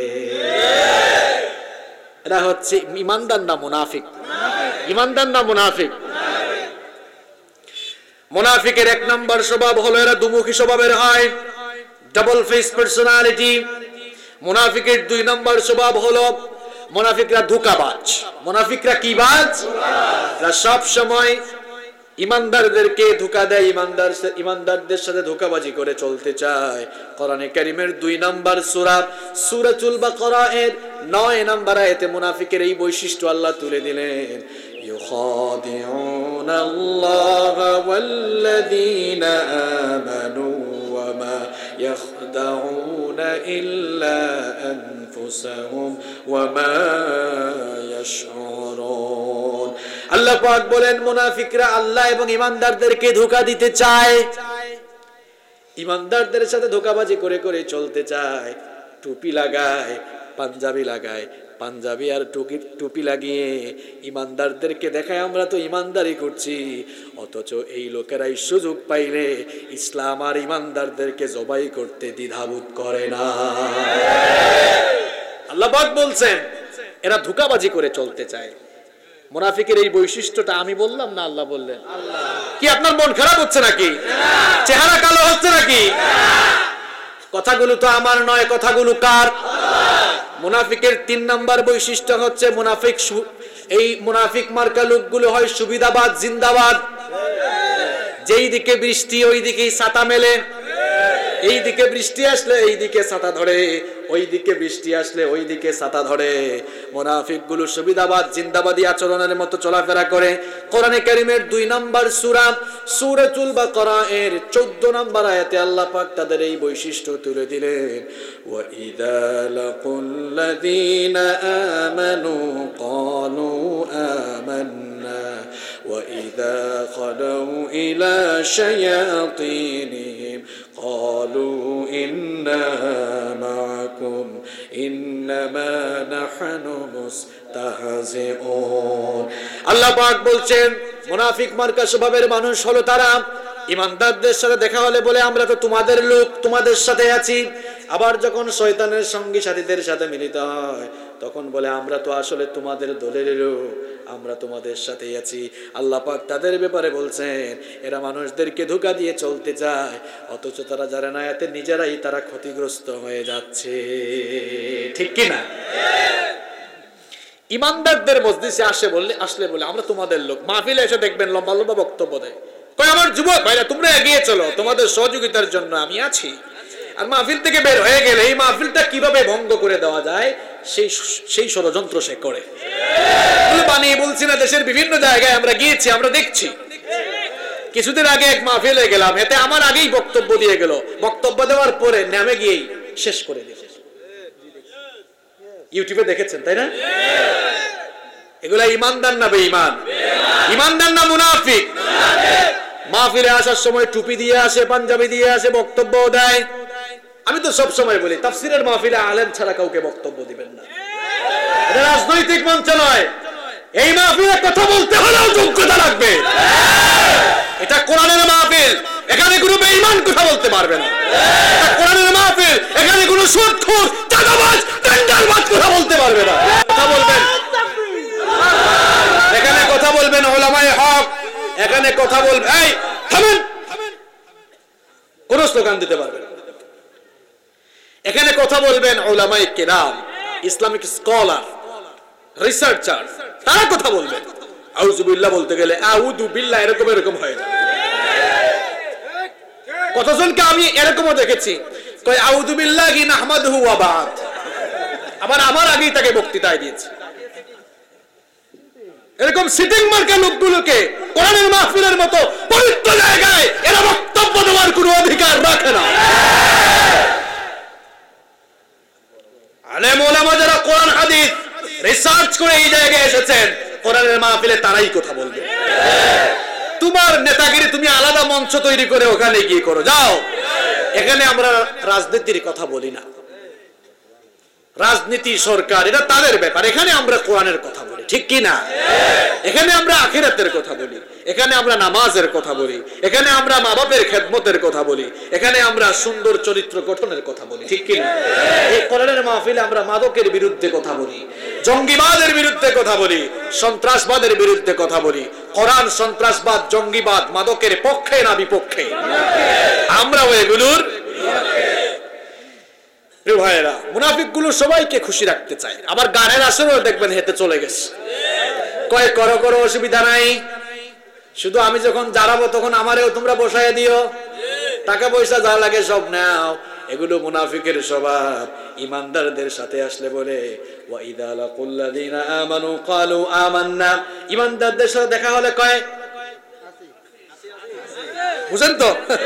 আমি তো তোমাদেরই আবার ওয়াইদা খালাউ ইলা শায়াতিনহিম ক্বালু ইন্না মাআকুম শয়তানদের সাথে মিলিত হলে কয়। এখন দেখেন তো হে, ওখানেও আছে, এখানেও? আসলে সে কোন জায়গায় আছে? কোন জায়গায় আছে? এই স্বভাবের মানুষগুলো ইমানদার না মুনাফিক? আরও জোরে, ইমানদার না মুনাফিক? কয়টা বললাম? কয়টা বলছি? এই, আপনাদের কি মন দিল এখানে আছে? মুখস্থ করতে হবে তো। তিনটা বলেছি কয়টা বলেছি। ভুলে গেলে চলবে না। কেউ তিনটা, কেউ চারটা। মুখস্থ করতে হবে। স্মার্টফোন যাদের কাছে আছে, নোট করেন। মুনাফিকের চার নাম্বার বৈশিষ্ট্য হলো, মুনাফিকরা মানুষ দেখানো কাজ বেশি করে। কথাটা আমার না আল্লাহর। কোরআনে কারীমের চার নাম্বার সূরা, সূরাতুন নিসা এর 142 এবং 143 নাম্বার আয়াতে আল্লাহ পাক সুন্দর করে বলছেন ইন্নাল মুনাফিকিনা ইউখাদিউনা আল্লাহ ওয়া হুয়া খাদিউহুম ওয়া ইযা ক্বামু ইলাস সালাতি ক্বামু কুসালা يراءون الناس ولا يذكرون الله إلا قليلا আল্লাহ তাআলা বলছেন মুনাফিকগুলো আল্লাহকে ধোকা দিতে চায়, এরা যখনও কিন্তু কাজ করে, মানুষকে দেখাবার জন্য করে। আল্লাহর সন্তুষ্টির জন্য এরা কাজ করে না। আল্লাহ পাক বলেন ওয়াইদা কমু ইলাস সালাতি কমু কুসারা এমনকি এরা যখন নামাজে দাঁড়ায়, নামাজটাও আল্লাহর সন্তুষ্টির জন্য আদায় করে না। এরা মানুষকে দেখায় নামাজ আদায় করে, মানুষকে দেখাবার জন্য নামাজ আদায় করে। এদের অন্তরে আল্লাহর ভয় থাকে না, বরং তারা কেবল লোকদেরকে দেখাবার জন্য এই ধোকাবাজি করে। সামনে নির্বাচন মাথায় টুপি লাগিয়েছে, আজান হয়েছে, এখন যদি নামাজে না যাই তো হবে না। অজুর ফজর জানুক আর নাই জানুক, গিয়ে কয়, আল্লাহ আকবার। আছে না নাই? এই যে নামাজ আদায় করল, এটা কি আল্লাহর সন্তুষ্টির জন্য করল, নাকি মানুষকে দেখাবার জন্য করল? সূরা হুমাজার মধ্যে আল্লাহ আরও বিস্তারিত বললেন, ফাওয়াইলুল লিল মুসাল্লিন হুম আন সালাতিহিম সাহুন আল্লাযীনা হুম ইউরাউন এটা মুখস্থ আছে, তাই না? এটা অর্থ কি? ফাওয়াইলুল লিল মুসাল্লিন, আল্লাহ তাআলা বলছেন, ওই মুসল্লিদের জন্য ধ্বংস। আল্লাযীনা হুম ইউরাউন যারা মানুষকে দেখাবার জন্য নামাজ আদায় মুনাফিকরা মানুষ দেখাবার জন্য হজ আদায় করে। আমি একবার এক হাজি সাহেবকে দেখলাম, হজে যাচ্ছে, বিমানে ওঠে নাই। টিকেটটা হাতে নিয়েছে বোর্ডিং শেষ করে ইমিগ্রেশন শেষ করে টিকিট হাতে নিয়ে বসে আছে। লোকটার ফ্লাইটও হয় নাই। দেখলাম তার ফেসবুক আইডির মধ্যেই ব্যানার ছাপা হয়েছে, হাজি অমুক সাহেব। বুঝতে পেরেছেন বাটপারি কারে কয়? এখনও ফ্লাইট হয় নাই। আমার নিজের দেখা লোক কিন্তু। নাম বলব না। আমার এলাকার। এটা আমার এলাকার, আপনাদের এলাকার না। আমি বললাম, কীরকম ধোকাবাজ দেখছ? এখনও বিমানে উঠে নাই। যদি যাওয়ার আগে মারা যায়, হাজি হইতে পারবে আর? কথা বলেন, হতে পারবে? তো এই দেশে হাজি লাগাচ্ছে, এখনও হজও করল না। হজে কি আল্লাহর জন্য যাচ্ছে, নাকি হাজি লাগাবার জন্য যাচ্ছে? আর হাজি আর আলহাজ লাগান কেন? এখানে দেখলাম একজন আমার নামের আগে আলহাজ লিখেছে। কেন? কেন এটা? যে পাঁচ ওয়াক্ত নামাজ আদায় করে, আমরা কি বলি, মুসল্লি আব্দুর রহমান? কথা বলেন যে জাকাত যে নামাজ আদায় করে তাকে বলে মুসল্লি। তাকে কি বলে? মুসল্লি। যে জাকাত দেয় তাকে বলা হয় আল মুজাক্কি মানে যে জাকাত দেয়। তাহলে আপনারা কি বলেন? জাকাত দাতা আব্দুল সত্তার সাহেব বলেন, তাহলে হজ করলে, তাহলে নামাজ আদায় করে যদি মুসল্লি আব্দুল সত্তার নাম না হয় জাকাত দিয়ে যদি জাকাত দাতা আব্দুল সত্তার না হয়, হজ করলে নামের আগে হাজি আর আলহাজ, এটা কি ফ্যাশন শু বের করেছেন নাকি? একবার হজ করলে হাজি। দুইবার, তিনবার করলে কয় ডবল হাজি ট্রিপল হাজি। বুঝতে পেরেছেন? এগুলো অনেক এলাকায় আছে। দুইবার, তিনবার হজ করলে কয়, আমি আর হাজি না, আমি আলহাজ হয়ে গেছি। কি হয়ে গেছে? আচ্ছা আমার নবীও তো হজ করেছেন। আমরা কি বলি আলহাজ কিংবা হাজি মোহাম্মদ সাল্লাহ সাল্লাম আমরা কি বলি আলহাজ আবু বকর রাদি আল্লাহ আনহু? আমরা কি বলি হাজি উসমান রাদি আল্লাহ আনহু? আমরা কি বলি হাজি আলী রাদি আল্লাহ আনহু? উনাদের ইমানের ধারে কাছে আপনি যেতে পারবেন? এ কথা বল না কেন, যেতে পারবেন? গোটা দুনিয়ার মানুষের আমলগুলোকে একত্রিত করা হয়, একজন সাহাবীর জুতার তলার সমান হবে না। কোন সাহাবি তো নামের আগে হাজি লিখলেন না, আলহাজ লিখলেন না। এত ফুটানি কেন আপনার? এগুলো এরাবিয়ান কান্ট্রিতে নাই। এগুলো বাংলাদেশ, ভারত আর পাকিস্তানে আছে। আল্লাহ আমাদেরকে বুঝার তৌফিক দিন। তো এই যে মুনাফিক মার্কা মানুষের স্বভাব, এরা যখনই কোনো কাজ করে, আল্লাহর সন্তুষ্টির জন্য করে না। মানুষকে দেখাবার জন্য, এটাও মুনাফিকের একটা স্বভাব। প্রিয় ভাইয়েরা, আপনার আগে আলোচনা শুনে শুনে শুধু মজা নিচ্ছেন নাকি? এগুলো আপনার চরিত্রের সাথে মিললে আপনি তার তোবা করে যান। যার জন্য এই কাজ আমার দ্বারা মুনাফিকের পাঁচ নাম্বার বৈশিষ্ট্য হলো, এরা দেখতে নাদুস নুদুস হয়েও চেহারা সুন্দর হলেও আল্লাহ বলছেন, এদের অন্তরটা ব্যাধিগ্রস্ত হয়ে আছে। মোনাফিকগুলোর অন্তরের মধ্যে রোগ আছে। জোরে কন, কি আছে? কোরআনে কারিমের দুই নাম্বার সুরা, সুরাতুল বাকরা এর 10 নাম্বার আয়াতে আল্লাহ পাক সুন্দর করে বলছেন, ফি কুলুবিহিম মারাদুন ফাযাদাহুমুল্লাহু মারাদা ওয়া লাহুম আযাবুন আলীহুম বিমা কানু ইয়াকযিবুন আল্লাহ পাক বলেন, মুনাফিকদের অন্তরে বেধি আছে, রোগ আছে। তাদের এই রোগকে আরও বাড়িয়ে দেন কে? কিসের রোগ? কিসের রোগ এটা? এটা নিফাকের রোগ। এটা গুমরাহির রোগ। এটা পথভ্রষ্টতার রোগ। আর এই রোগটা এমন রোগ, ভাই, আমার দিকে তাকান, শোনেন। খুব গুরুত্বপূর্ণ একটা কথা বলছি। করোনা ভাইরাসে কেউ যদি মারা যায়, ক্যান্সারে যদি কেউ মারা যায় স্ট্রোক করে অ্যাটাক করে হার্ট অ্যাটাক করে কেউ যদি- কেউ মারা যায়। লোকটা জাহান নামে যাবে, এমন কথা কেউ আমরা বলতে পারব? কথা বলেন, বলতে পারব? দুনিয়ার যে কোনো রোগ নিয়ে মানুষ মারা গেলে ওই মানুষটা জাহান নামে যাবে, আমরা এমন কথা কেউ বলতে পারব না।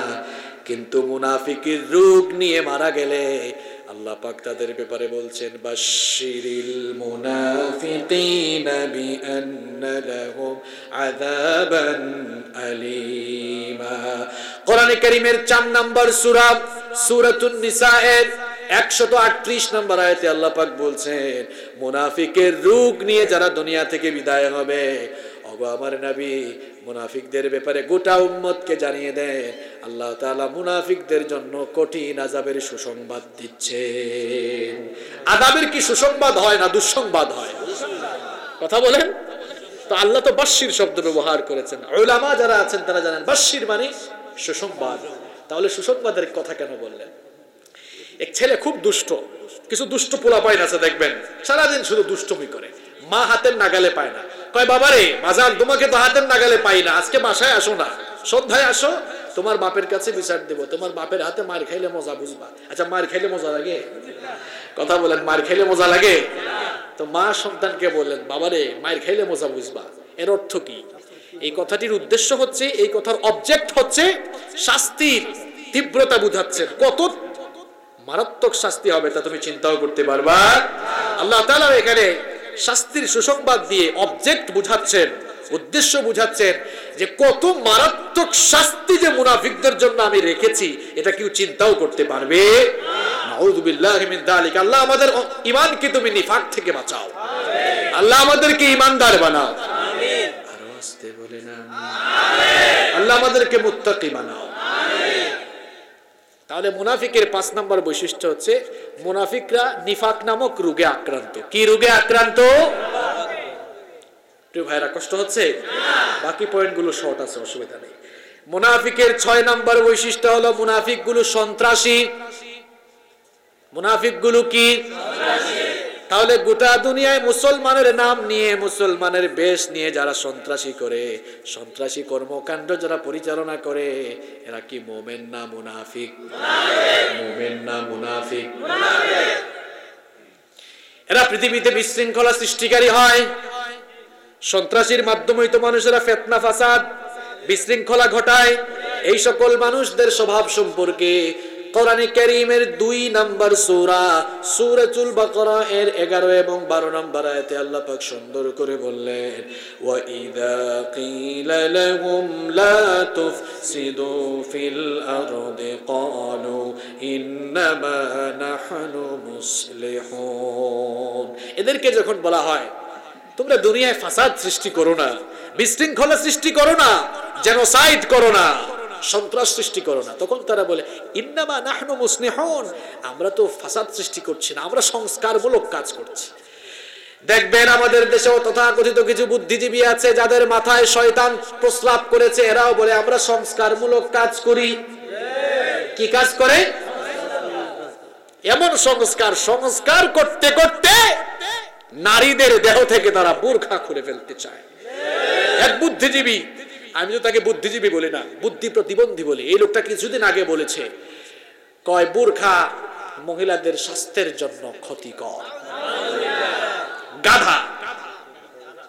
এর মাথার মধ্যে শয়তান পেশাব করেছে। যে এই কথা বলেছে, লোকটার নাম নিলাম না। এই লোকটাই কিন্তু করোনা ভাইরাস আসার পরে নিজে বুর্খা পরে হেঁটেছে আরে বাপরে বাপ, করোনা ভাইরাস আসার পরে দেখছেন আপনারা? কি অবস্থা? আমরা তো শুধু মাস্ক পরি, তারা মাথার মধ্যে নেট জালের মতো কি একটা জানি লাগায়। তারপর সামনে দিয়ে আবার হেলমেটের মতো কি জানি পরে। এরপরে পিপিই বুরখার মতো আছে না আরেকটা? তো করোনা ভাইরাস আসার পরে যারা বুরখার বিরুদ্ধে কথা বলেছে, এতদিন যে প্রগতিশীলদেরকে আপনারা দেখেছেন, তারাও বুরকার ভেতরে ঢুকে গিয়েছে। বুরখা স্বাস্থ্যের জন্য যদি ক্ষতিকর হয়, গাধা, বুরখা তুই পরস কেন? আমি তো এই কথা এভাবে বলি, যার ভেতরে আত্মসম্মান বোধ নাই, যে তার স্ত্রী, তার মেয়ে, তার মা বোনকে পুরুষের পণ্য বানাতে চায়, তারাই কেবল তার মা বোন, বউ বাচ্চাকে পর্দা ছাড়া, বুরখা ছাড়া ঘর থেকে বের করে। এদেরকে ইসলাম দিয়া বুঝাইলেও হবে না। কেন জানেন? এদের মাথায় শয়তান পেশাব করে দিয়েছে। এদেরকে বুঝাইতে হবে কেমনে জানেন? আজকে একটু অভিনয় হোক হ্যাঁ? বুদ্ধিজীবীদেরকে বলবেন হ্যাঁ বুদ্ধিজীবী? আপনি কিন্তু বুদ্ধিজীবী না। লোকজনকে দেখাচ্ছি। বলবেন, এই বুদ্ধিজীবী, একটু বিশ বছর আগে ফিরে যাও তো। আপনার বয়স তো আর বিশ না, এদের বয়স তো চল্লিশ বছর হয়ে গেছে। পঞ্চাশ বছর হয়ে গেছে। সবাই ওনার দিকে তাকায়েন না। আমি এক্সাম্পল দিচ্ছি, বলবেন এরকম যে আপনার বয়স তো চল্লিশ, পঁয়তাল্লিশ হয়েছে, একটু বিশ বছর আগে যান, বিশ বছর আগে গেলে চল্লিশ থেকে বিশ বাদ দিলে কত থাকে? তাকে বাস্তব উদাহরণ দিয়ে বুঝাবেন যে বিশ বছর বয়সী একটা ছেলের সামনে উলঙ্গ নারী থাকলে অ্যাট্রাকশন আসার কথা নাকি কথা না? যদি না আসে, আপনি পুরুষই না, আপনি রোগাক্রান্ত, আপনি হিজরা কিনা দেখেন, গিয়ে টেস্ট করেন। হয়তো আপনি ভালো মানুষ ছিলেন, নিজেকে আপনি প্রোটেক্ট করেছেন, হেফাজত করেছেন। তাকে ভালোভাবে আপনি বুঝান যে আপনি খুব ভালো মানুষ, ভালো মনের মানুষ এই জন্য তাকান নাই। কিন্তু বলেন তো, ওই বয়সী অনেক ছেলে পেলে কুদৃষ্টি দেয়, এরকম সমাজে ছিল না? দেখবেন সে ঠিকই উত্তর দিবে হ্যাঁ এরকম অনেক আছে। তা আপনি বলবেন, অন্তত এদের কুদৃষ্টি থেকে আপনার মেয়েকে, আপনার মাকে, আপনার বোনকে, আপনার স্ত্রীকে এদের কুদৃষ্টি থেকে বাঁচাবার জন্য হলেও তো এদেরকে বুর্খা পরানো জরুরি। এদেরকে এভাবে বুঝাবেন। আর শোনেন, পৃথিবীর কোনো বিজ্ঞান, কোনো বিজ্ঞানী, কোনো চিকিৎসা বিজ্ঞান, কোনো চিকিৎসা বিজ্ঞানী বুর্খা স্বাস্থ্যের জন্য ক্ষতিকর, আগেও প্রমাণ করতে পারে নাই এখনও পারবে না, ভবিষ্যতেও পারার সম্ভাবনা এটা করোনা ভাইরাস আসার পরে প্রমাণ হয়েছে। সব বিজ্ঞানীরা বলতেছে বুর্খার ভেতরে ঢুক। পিপি লাগাও। আল্লাহ তালা বুঝার তৌফিক দেন। তো মুনাফিকদের ছয় নম্বর বৈশিষ্ট্য কি বলছিলাম? এরা সন্ত্রাসী। এরা কি? সন্ত্রাসী করলে তাদেরকে যদি বলেন, এগুলো বলো না। কয় না, আমরা তো সংস্কারপন্থী। কি পন্থী? এই সকল মানুষরা যদি একটু ক্ষমতা পায়, এরা ক্ষমতা পেলে প্রথমেই তারা সাত দফা কাজ করে, জুড়ে কোন কয় দফা? কথাটা এম হাসিবুর রহমানের নাকি আল্লাহর? দেখেন, এই সকল মানুষ যাদের মাথায় শয়তান পেশাব করে দিয়েছে যেই মানুষগুলো জমিনে ফেতনা লাগাতে চায়, ফাসাদ সৃষ্টি করতে চায়, যেই মানুষগুলো জেনোসাইড বাড়াতে চায় এরা একটু ক্ষমতা পাইলেই এরা সাত দফা কাজ করে, জুরকন কয় দফা? আমি আয়াত দিয়ে দিয়ে বলছি, বাড়িতে গিয়ে মিলাবেন। কোরআন কারিমের 27 নম্বর সূরা, সূরাতুন নামালের 34 নম্বর আয়াতে আল্লাহ পাক তাদের দুটি কর্মসূচির কথা বললেন। ইন্নাল মুলুকা ইযা দখালু ক্বরয়াতান আফসাদুহা ওয়াজআলু আ'ইজ্জাতা আহলিহা আযিল্লা ওয়া আল্লাহ পাক বলেন, এই সকল লোকেরা প্রথম যে দুটি কর্মসূচি পালন করে, এক নাম্বার কর্মসূচি হলো এক নাম্বার হলো আফসাদুহা। গোটা জনপদ, গোটা সমাজ আর রাষ্ট্রে তারা সন্ত্রাস আর ত্রাসের রাজত্ব কায়েম করে, নিজেদের বাহিনীকে তারা সন্ত্রাসী বাহিনী হিসাবে গঠন করে, সব জায়গায় ভীত বিহব্বল পরিস্থিতির সৃষ্টি করে দেয়। আর দুই নাম্বার কর্মসূচি হলো, ওয়াজালু আইজ্জাতা আহলিহা আদিল্লা ওই সমাজের, ওই জনপদের, ওই দেশের, ওই রাষ্ট্রের সম্মানিত মানুষগুলোকে তারা অপমানিত করার ব্যবস্থা করে। দিনের পর দিন, যুগের পর যুগ যারা কোরআনের কথা বলেছেন, তারা এমন ভাবে তাদেরকে অপমানের ব্যবস্থা করে। অপমানিত করতে করতে তাদেরকে ধর্ষণকারী আর লুণ্ঠনকারী বানিয়ে ফেলে। শয়তানে দেখে আসে, আল্লাহ, তুমি যে কেন আমার শয়তান বানাইলা? এগুলো তো আমার চেয়ে বড় বস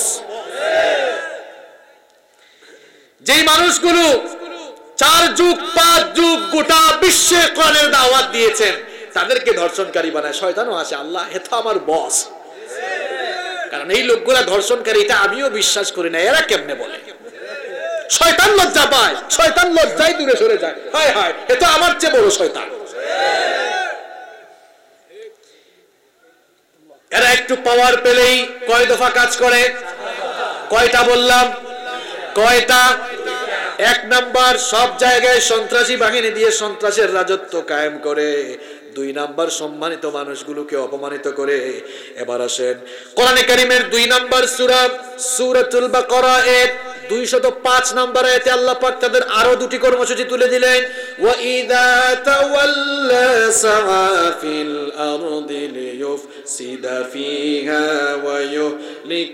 হারথা ওয়ান নাসলা ওয়াল্লাহু লা ইউহিব্বুল ফাসাদ। আল্লাহ পাক বলেন, এদের তিন নাম্বার কর্মসূচি হলো এদের তিন নাম্বার কর্মসূচি হলো তাদের নিজেদের গদি ধরে রাখার জন্য। ওয়াইহলিকাল হারসা এক নাম্বার হলো হার্স। সমাজ, রাষ্ট্রের কিংবা জনপদের সকল গুরুত্বপূর্ণ সম্পদগুলোকে তারা লুটপাট করে ফেলে। দেখা যায়, ব্যাংকের টাকা গায়েব হয়ে যাবে। হাজার হাজার হাজার হাজার কোটি টাকার কয়লা গায়েব হয়ে যাবে, খবর থাকবে না। বালিশ রপ্তানি হয়ে যাবে, কোনো খবর থাকবে? এইভাবে করে সব জায়গায় লুটপাট চলবে হার্স। সেই জনপদের গুরুত্বপূর্ণ সম্পদগুলো, এখানে হার্স মানে শস্য ক্ষেত শস্য ক্ষেত দ্বারা এখানে বোঝানো হয়েছে। সেই জনপদের গুরুত্বপূর্ণ সম্পদগুলোকে এরা লুট করে ফেলবে। চার নাম্বার হলো ওয়ান্নাস। যারাই তাদের বিরুদ্ধে দাঁড়িয়ে যাবে, এদেরকেই তারা হত্যা করে ফেলবে। খুন করে ফেলবে, দুনিয়া থেকে বিদায় করে দিবে। এরপরে কোরআনে কারিমের নয় নাম্বার সুরা, সূরাতুত তাওবা এর 67 নাম্বার আয়াতে তাদের বাকি তিনটি কর্মসূচির কথা আল্লাহ এভাবে বললেন, আল মুনাফিকুনা ওয়াল মুনাফিকাতু বা'দুহুম মিন بعض يأمرون بالمنكر وينهون عن المعروف ويقبضون أيديهم نسوا الله فنسيهم إن المنافقين هم الفاسقون আল্লাহ পাক বলেন মুনাফিক পুরুষ আর মুনাফিক নারী একজন আর একজনের বন্ধু হয় একজন আর একজনের সহযোগী হয়। এরা যদি ক্ষমতা পায়, পাঁচ নাম্বার যে কাজ করে, আল্লাহ পাক বলছেন বিল মুনকার। এরা যদি একটু পাওয়ার পায়, ক্ষমতা পায়, তাহলে আইন পাশ করে সকল অন্যায় আর হারাম কাজগুলোর লাইসেন্স তারা দিয়ে দিবে। এরপরে ছয় নাম্বার ওয়ান হাউনা আনিল মারুফ। আইন পাশ করে করে সকল ভালো কাজগুলো বন্ধ করে দিবে। ক্ষমতা দেখায়া দেখায়া সকল ভালো রাস্তাগুলো, ভালো কাজগুলো, ভালো আয়োজনগুলো বন্ধ করে। সাত নাম্বার হচ্ছে ওয়াক বিদুন আইদিয়াহুম। আচ্ছা কথাগুলো কে আমার? কথাগুলো কে বলছেন ওয়াক বিদুন আইদিয়াহুম। সাত নাম্বার আয়াতে আল্লাহ বলছেন, এরা সকল জনকন্যালমূলক খাত গুটিয়ে ফেলবে। এবার আল্লাহ পাক বলছেন মুনাফিক মার্কা মানুষগুলো ক্ষমতা পেলে তো এই সাত দফা কর্মসূচি পালন করে। এবং মুনাফিক মার্কা মানুষগুলো ক্ষমতা পেলে এরা জালেমের ভূমিকায় অবতীর্ণ হয়ে যায়। আর জালেমগুলো ক্ষমতা পেলে কয় দফা কাজ করে? সবাই তো বললেন না। ভয় পাইয়েন না, কথাগুলো আমারও না, আপনাদেরও না, কথাগুলো কার?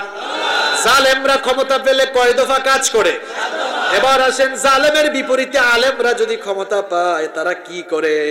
আল্লাহ পাক এবার বলছেন, আল্লাযীনা ইম্মাক্কান্নাহুম ফিল আরদি আকামুস সালাতা ওয়া আতামুজ যাকাতা ওয়া আমারু বিল মারুফি ওয়া নাহাউ আনিল মুনকার ওয়ালিল্লাহি আকিবাতুল উমুর কোরআনে কারীমের 22 নম্বর সূরা, সূরাতুল হাজ্জের 41 নম্বর আয়াতে আল্লাহ তাআলা বলছেন জালেমের বিপরীতে আলেমরা যদি ক্ষমতা পায়, আলেমরা ক্ষমতা পাক, আলেমরা দিয়ে কোরআন দিয়ে সবকিছু চালাক, আপনারা চান কি চান না? এবার বলছেন, জালেমের বিপরীতে আলেমরা যদি তাদের হাতে সবকিছু পায়, তাহলে তারা চার দফা কাজ করে, জোরে কোন কয় দফা? এক নম্বর, আকামুস সালাহ। সব জায়গায় তারা নামাজ কায়েম করবে। আইন পাস হয়ে যাবে, আজান হয়ে গেলে দোকান খোলা রাখলেই জরিমানা আসবে। আদান আইন পাশ হবে, আদান হয়ে গেলে রাস্তায় চললে পুলিশের বাড়ি আছে না নাই? সৌদি আরবে এই চিত্রগুলো আছে না নাই? এক নম্বর কাজ করবে, সব জায়গায় নামাজ কায়েম করবে। দুই নম্বর হচ্ছে ও যাকাত, সুদ ভিত্তিক অর্থ ব্যবস্থার পরিবর্তে তারা সেই দেশে জাকাত ভিত্তিক অর্থনীতি কায়েম করবে। তিন নম্বর হলো ওয়ামুরুনা বিল মারুফ, ওয়া আমারু বিল মারুফ। আইন পাশ করে করে সব ভালো কাজগুলো তারা করবে। আর চার নাম্বার হলো, ওয়ানাহু আনিল মুনকার, আইন পাশ করে করে ক্ষমতা বলে সকল অন্যায় এগুলো বন্ধ করে দিবে। আমার ভাইয়েরা, কোরআনে কারিমের এই আয়াতগুলোর সামনে রেখে এবার আপনারা বলেন তো, কোরআনের আয়নায় আপনি একটু গোটা বিশ্বটা দেখেন। বলেন তো, গোটা বিশ্ব এখন জালেমের দখলে না আলেমের দখলে? কোরআনের আয়নায় একটু বিশ্বকে এবার দেখেন। কোরআনের আয়নায় গোটা বিশ্বকে দেখে বলেন তো, গোটা বিশ্ব জালেমের দখলে না আলেমের দখলে? একটা সময় গোটা বিশ্ব আলেম আলেম মানে কি? যারা কোরআন হাদিফের জ্ঞান রাখে। একটা সময় কিন্তু আলেমদের দখলে ছিল। খোলাফায় রাশেদার যুগ, এরপরে বিভিন্ন যুগে আমরা, বিভিন্ন খলিফার যুগেও আমরা কোরআনের শাসন দেখেছি। ঠিক কি না তাহলে মুনাফিকের ছয় নাম্বার বৈশিষ্ট্য আমরা জানলাম। মুনাফিকগুলো সন্ত্রাস বন্ধকারী না সন্ত্রাস সৃষ্টিকারী? আবার বলেন, সন্ত্রাসকারী নাকি সন্ত্রাস নির্মূলকারী? সবাই তো বললেন না। এরা কি টায়ার্ড হয়ে গেছে নাকি?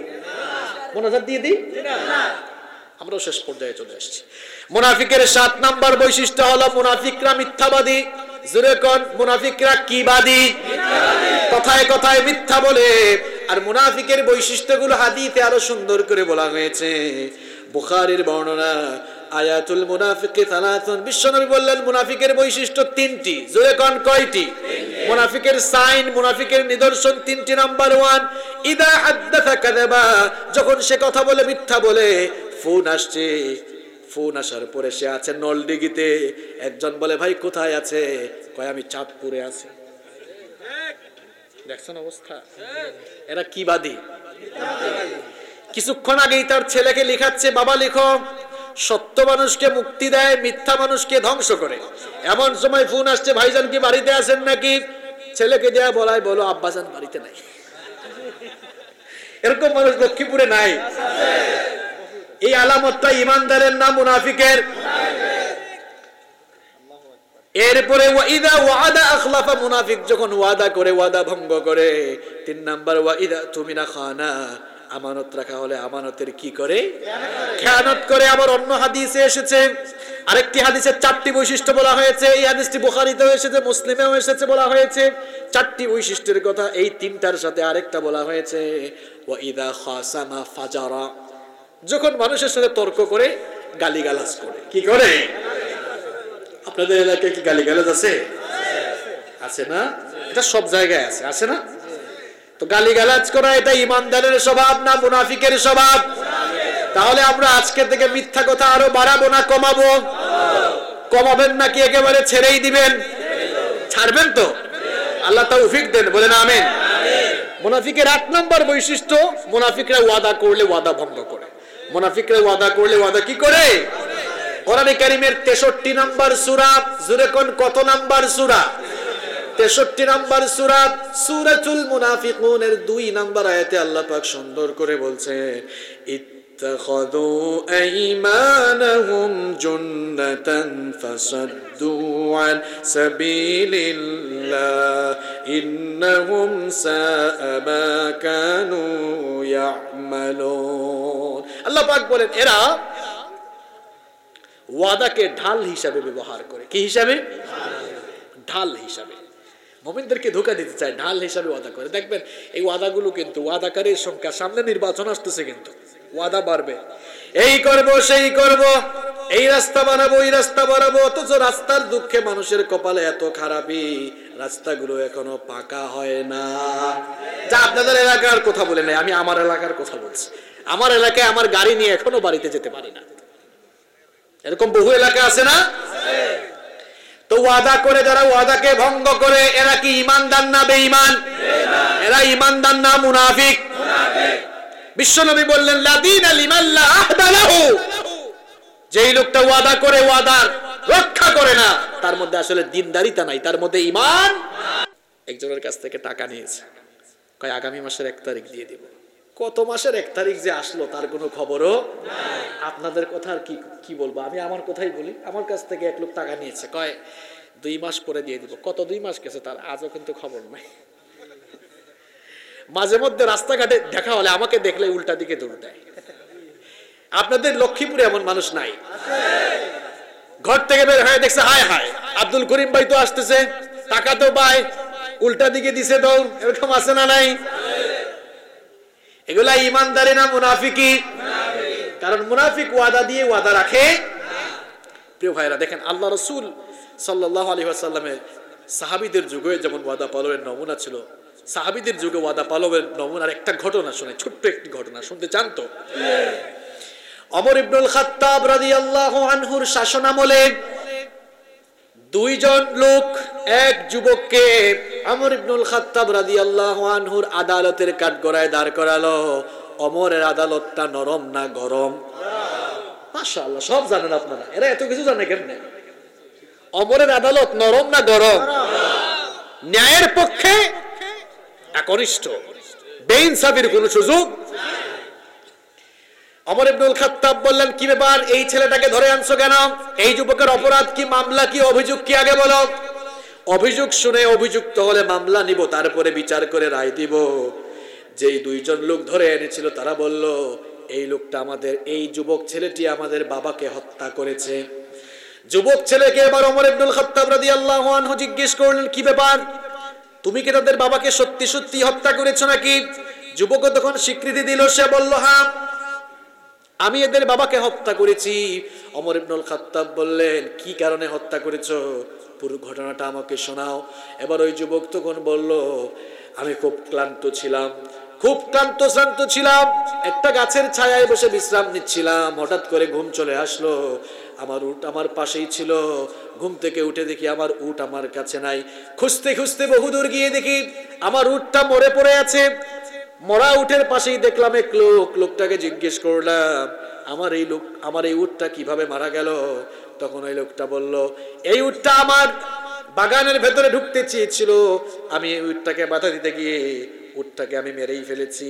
এবার লোকটা, এবার ওই যুবক ছেলেটা ওই লোকটার সাথে তর্কাতর্কি করার এক পর্যায়ে লোকটাকে মনেরও জানতে মেরে ফেলল। বলল, গো আমিরুল মুমিনিন, আমি তো সুস্থ মাথায় লোকটাকে মারি না আমি ভাবি নাই লোকটা মরে যাবে। তর্কা তর্কাতর্কির এক পর্যায়ে আমি তাকে পাথর দিয়ে আঘাত করেছিলাম। ওই পাথরের আঘাতে এই লোকটা মরে গিয়েছে।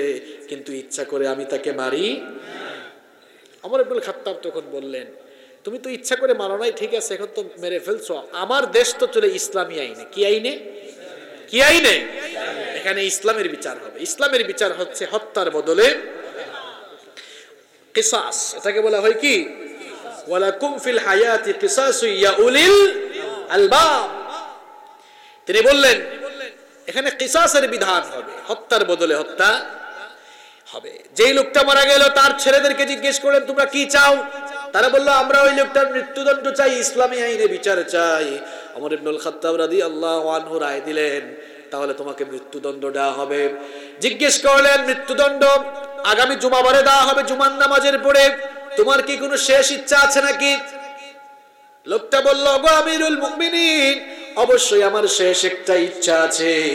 আমর ইবনুল খাত্তাব রাদিয়াল্লাহু আনহু বললেন, তোমার শেষ ইচ্ছা কি বলো? লোকটা বলল, আমার কাছে বহু মানুষের আমানত আছে। আমার কাছে বহু মানুষের আমানত আছে, তাদেরকে আমি ওয়াদা করেছিলাম। আমি তাদের সম্পদগুলো ফিরিয়ে দেব, কিন্তু তাদেরকে তো এখনও ফিরিয়ে দিলাম না।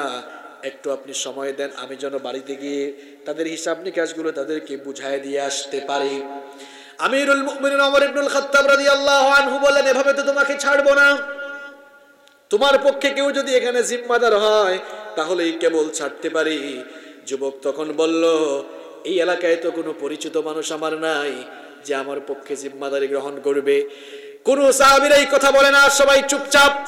হঠাৎ করে আবু দর গিফারি রাদিয়াল্লাহু আনহু দাঁড়িয়ে বললেন আমিরুল মুমিনিন, এই যুবকের পক্ষে কেউ জিম্মাদারি গ্রহণ না করলেও আমি জিম্মাদারি গ্রহণ করতে রাজি আছি। অমর ইবনুল খাত্তাব রাদিয়াল্লাহু আনহু বললেন, আবু দার গিফাফি চিন্তা করে সিদ্ধান্ত নাও, কারণ ওই যুবক যদি ফিরে না আসে, তাহলে কিন্তু যুবকের মৃত্যুদণ্ড তোমার উপরে কার্যকর করা হবে। বুঝে শুনে সিদ্ধান্ত নাও। তিনি বললেন, বুঝে শুনেই সিদ্ধান্ত নিয়েছি, লোকটাকে এবার ছেড়ে দেন, সে জুমার আগে আসবে। জিম্মাদারি আমি গ্রহণ করলাম। জুমার দিন চলে আসলো। জুমার আদান হয়ে গেল, কিন্তু যুবক তো এখনও ফিরে আসে না। গোটা মদিনায় গুঞ্জন শুরু হয়ে গেল, আহারে, নিরপরাধ আবুজার গিফারিয়াজ একটা যুবকের জিম্মাদারি গ্রহণ করার কারণে আজকে তাকেই মৃত্যুদণ্ডের সম্মুখীন হতে হবে। জুমার নামাজ শেষ হয়ে গেল, যুবক এখনও ফিরে না। আমার ইবনুল খাত্তাব, তিনি তো খুব গরম মানুষ বললেন মৃত্যুদণ্ডের মঞ্চ তৈরি করো, ফাঁসির মঞ্চ তৈরি করো। মৃত্যুদণ্ড কার্যকর করা হবে। মৃত্যুদণ্ড কার্যকর করার জন্য যখন জল্লাদ প্রস্তুতি নিচ্ছে, সবাই আহাজারি করছে। আহারে নিরপরাধ মানুষটাকে মেরে ফেলা হচ্ছে। লোকটা যদি জিম্মাদারি গ্রহণ না করত, তাহলে আজকে বেঁচে যেত। হঠাৎ করে দেখা গেল, মরুভূমির বালিগুলি উড়িয়ে কে যেন ঘোড়া ছুটিয়ে আসছে। বলা হবে, একটু অপেক্ষা করো দেখি কে আসে। দেখা গেল ওই যুবক ছেলেটাই ফিরে এসেছে। অমর ইবনুল খাত্তাব রাদিয়াল্লাহু আনহু অবাক হয়ে গেলেন। অবাক হয়ে বললেন, ওগো যুবক, তুমি ফিরে এসেছ কেন? ফিরে আস নাই ফিরে না আসলে তো তুমি জানাই বেঁচে যেতা যুবক তখন বলল গো আমিরুল মুমিনিন, আমি তো ওয়াদা দিয়ে গিয়েছি। আমি যদি ওয়াদা ভঙ্গ করে না আসতাম, ঠিকই আমি বেঁচে যেতাম। কিন্তু গোটা দুনিয়ায় ছড়িয়ে যেত, একজন মুসলমান ওয়াদা করে ওয়াদা পালন করতে জানে না। এই জন্য ফিরে এসেছি। এটা মুসলমানের কাজ নয়। আবু দার গিফারি রাজি আল্লাহ আনহুকে বললেন কেউ জিম্মাদারি গ্রহণ করল না, তুমি কেন এই যুবকের পক্ষে জিম্মাদার হলে? আবু দার গিফারি রাদিয়াল্লাহু আনহু তখন বললেন, ওগো আমিরুল মুমিনিন, আমাদের একজন মুমিন ভাই বিপদে পড়েছে, তাকে যদি আমরা কেউ সাহায্য না করি, গোটা দুনিয়ায় খবর হয়ে যাবে। একজন মুসলমান বিপদে পড়েছে, কিন্তু তার বিপদে অন্য কোনো মুসলমান এগিয়ে আসে নাই। এই কথা যদি মানুষ বলতে না পারে, এজন্যই তার বিপদে আমি এগিয়ে এসেছি। আমরা কেমন? আমাদের চরিত্র এখন এমন যে বিপদে পড়ছে, কয়, তার ঠেলা সেই থামলা সামলা আছে না নাই? এগুলো ইমানদারি না মুনাফিকি? আল মুমিনুনা কাল জাসাদিল ওয়াহিদ। মুমিনরা হচ্ছে একই দেহেরই নাই। আপনার শরীরে পায়ের মধ্যে আঘাত লাগলে পুরো শরীরে এর ব্যথা অনুভব হয় না? একজন মুমিন বিপদে পড়লে যদি তার বিপদের সময়ের সেই অনুভূতি আপনার দিলে কাজ না করে, আপনি তো মোমেন না, আপনি কি? কি? আরও জোরে, কি? অমর ইবনে আচ্ছা তাই তুমি সহযোগিতার মানসিকতা নিয়ে জিম্মাদারি গ্রহণ করেছে। এবার যেই লোক মারা গিয়েছিল, তার দুই ছেলে যাকে এই যুবককে ধরে এনেছিল যারা, এরা গামিরুল মুমিনিন, যুবক তাকে ফাঁসি দেওয়ার দরকার নাই, মেরে ফেলার দরকার নাই, তাকে আমরা মাফ করে দিয়েছি। অমর ইবনুল খাত্তাব অবাক হয়ে গেলেন, কি ব্যাপার, এখন এরা মাফ করে দেয় কেন?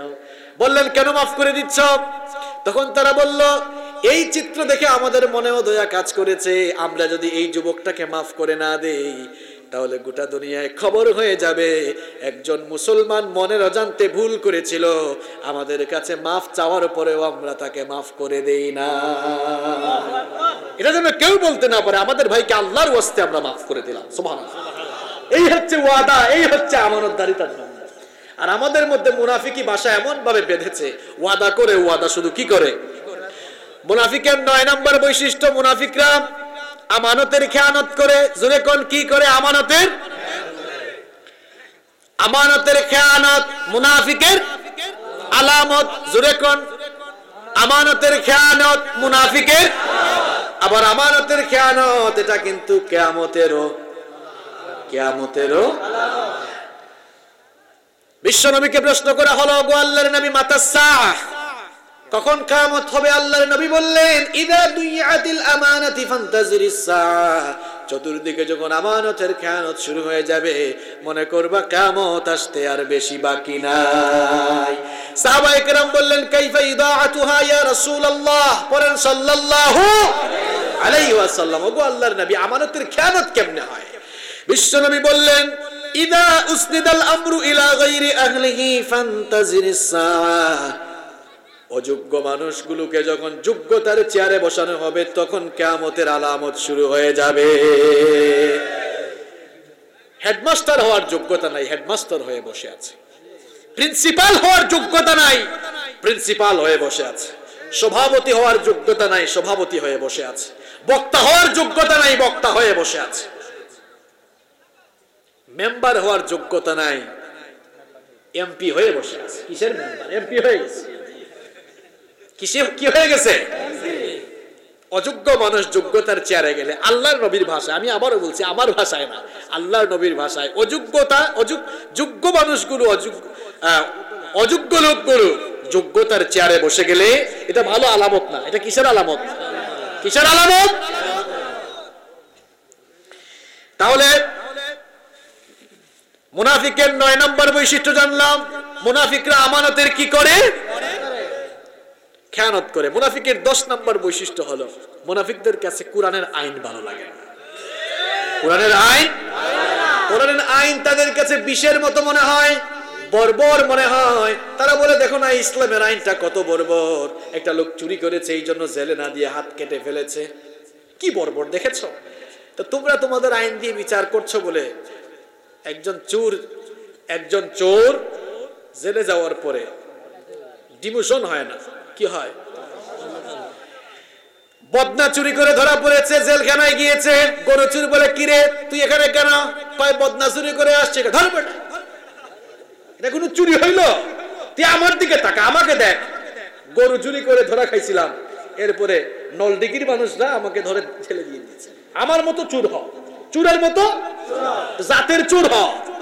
এখন বদনা চুর যখন জামিন নিয়ে বের হয় কয় আরে এর আগের বার তো বদনা চুরি করে প্রেস্টিজিয়ার থাকে না এবার চুরি করলে গরু চুরি করবে গরু চুরি করে যখন আবার নলডিগির মানুষের হাতে ধরা খাইছে পাবলিক পিটাই এরপরে জেলখানায় দিয়েছে এবার আরেক ডাকাইত পেয়ে বলে কিরে তুই এখানে কেন? কয় গরু চুরি করে ধরা খাইছে। ধর বেটা তুই আমার দিকে থাকা আমি এমন চোর কেউ জানে না আমি রোডের বদলে বাঁশ দিয়ে দিই। কি দিয়ে দেই? এবার গরু চুর বের হয়ে তিন চুর চাল চুর গম চুর হওয়ার চিন্তা করে। মানুষের খাটের নিচে সাধারণত ঘরের অবশিষ্ট জিনিস আমরা দেখতে পাই। মানুষ অবশিষ্ট জিনিস রাখে, কিন্তু এখনকার চুরগুলো এমন টেটনা চুর হয়েছে, তারা খাটের নিচে তেলের গুদামজাত করে রাখে। কেমন টেটনা চুর, চিন্তা করেছেন আপনি? তো তেল চুর যখন ধরাকে আমাদের সরকার কিন্তু দুর্নীতির বিপক্ষে। মাশা আল্লাহ এদেরকে ধরা হয়েছে। তেল চুর যখন যায়, তেল চুর যাওয়ার পরে এবার বালিশ চুর আছে না আরেক গ্রুপ ধরবে না তুই তেল চুরি করেছিস, আমি তো বালিশ চুরি করে আসছি। হইলে আমার মতো হ। আমার ভাইরা, কোরআনের আইনকে যারা বর্বর আইন বলে, এরা সমাজ থেকে, দেশ থেকে চুরি কমাতে চায় না, বরং এরা সমাজে আর দেশে আরও চুরি বাড়াতে চায়। কোরআনের আইন দিয়ে চুরির বিচার করে দেখো একজন চুরের হাত কেটে দাও। দেশে যতগুলো চুর আছে, জনমের মতো সাইজ হয়ে যাবে। একটা জেনার বিচার, ধর্ষণের বিচার, কোরআন দিয়ে করে দেখো যতগুলো বদমাস এই দেশে আছে, সবগুলো জনমের মতো সাইজ হয়ে যাবে। মুনাফিকগুলো কোরআনের আইন চায় না, কারণ কোরআনের আইন চালু হয়ে গেলে তারা বদমাশি করতে পারবে না। কোরআনের আইন চালু হয়ে গেলে নারীদেরকে নিয়ে তারা নাইট ক্লাবের মধ্যে মজা করতে পারবে না। কারণ নারীদেরকে নিয়ে মজা করলে ইসলামের আইন নরম না গরম। ইসলামী আইন থাকলে তো সমস্যা। তাদের হাতে আইন আছে, সে যা মন চায় তাই করতে। কি আপনি রাগ করছেন নাকি? এজন্য তারা এই কোরআনের আইন চায় না। কোরআনে কারিমের চার নম্বর সূরা সূরাতুন নিসা এর 61 নম্বর আয়াতে আল্লাহ পাক এই স্বভাবের মানুষগুলো সম্পর্কে বলছেন, ওয়া ইদা কিলা লাহুম তাআলাউ ইলা মা আনজালাল্লাহু ওয়া ইলার রাসূলি রাআইতাল মুনাফিকিনা ইয়াসুদ্দুনা আনকা সুদুদা। আল্লাহ পাক বলেন যখন এদেরকে বলা হয়, আসো। আল্লাহ আর রসুলের বিধানের দিকে চলে আসো। তখনই আল্লাহ পাক বলছেন, ওগো আমার নবী, আপনি মুনাফিক মার্কা লোকদেরকে দেখবেন। আল্লাহর বিধানের দিকে না এসে পাশ কাটিয়ে তারা অন্য দিকে চলে যায়। এই স্বভাবের মানুষগুলো ইমানদার না মুনাফিক? আরও জুড়ে বলেন, ইমানদার না মুনাফিক? মুনাফিকের এগারো নম্বর বৈশিষ্ট্য হলো, মুনাফিকের এগারো নম্বর বৈশিষ্ট্য হলো, বলতাম এটা? বলব তো? আপনারা বলছেন তো? মুনাফিকের এগারো নম্বর বৈশিষ্ট্য হলো, মুনাফিকরা সব সময় একটা ভয়ের ভিতরে থাকে। না জানে কোরআন কোন সময় আমাদের চরিত্র ভাস করে দেয়। মসজিদে ঢুকলে ইমাম আর খতিব সাহেবকে বলে, হুজুর, সব বলিয়েন, কিন্তু এটা বলিয়েন না। কারণ এটা বললেই তো আমার সাথে? আমার সাথে? আমার সাথে?